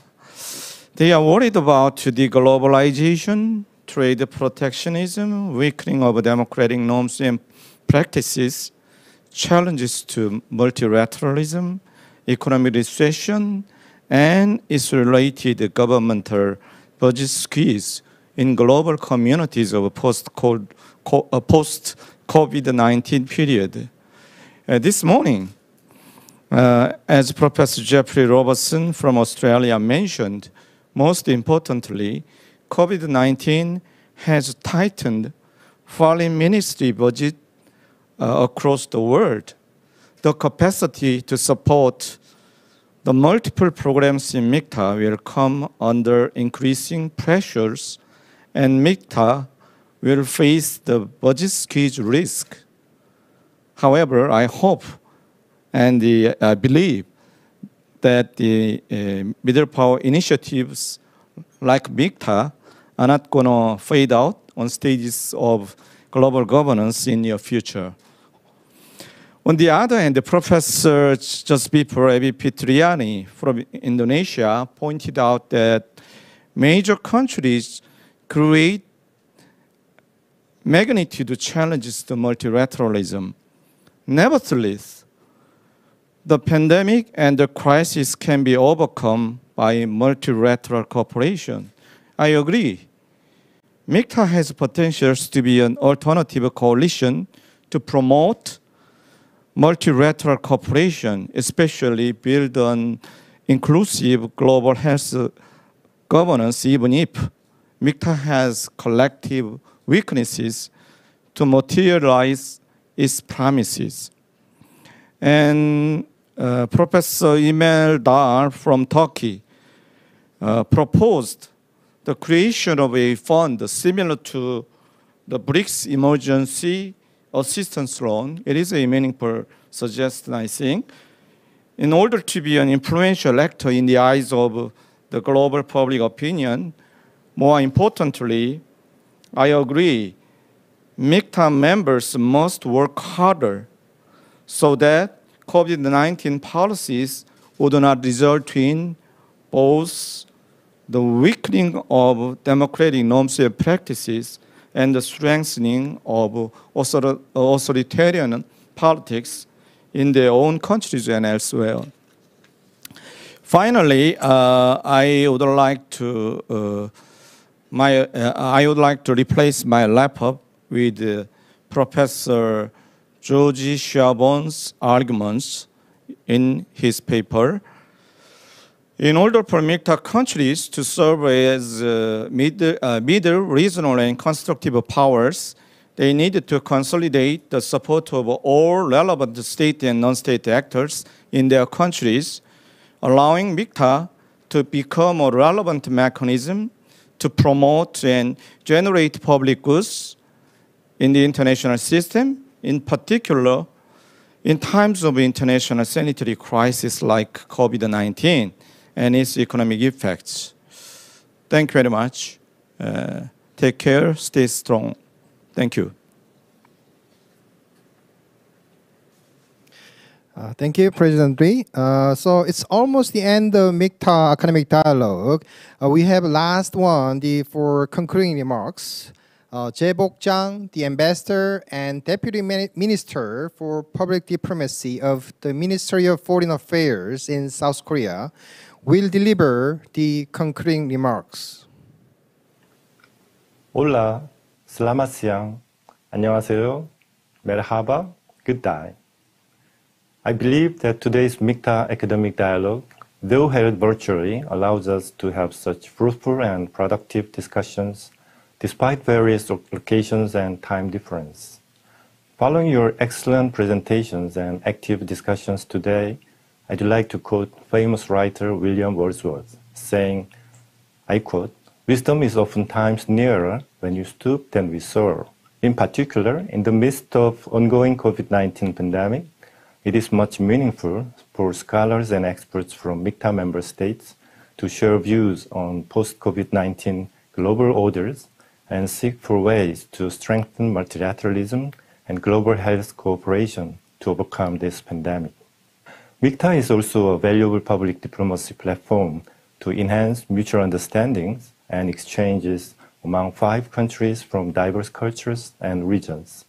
Therefore, I wish that MIKTA academic dialogue that we have held today would infuse new creative energy to revitalize and enrich academic exchanges among MIKTA member states to extend the scope of MIKTA partnership.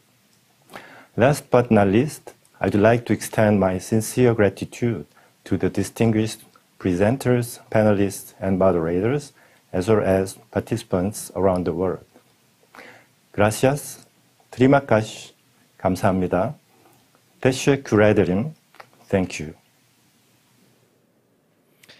Thanks a lot, Ambassador Zhang. So this is all we have today. I would like, I would like to express our sincere appreciation to all participants and audiences. Thanks a lot uh, once again for watching the dialogue today. Hope to see you again soon.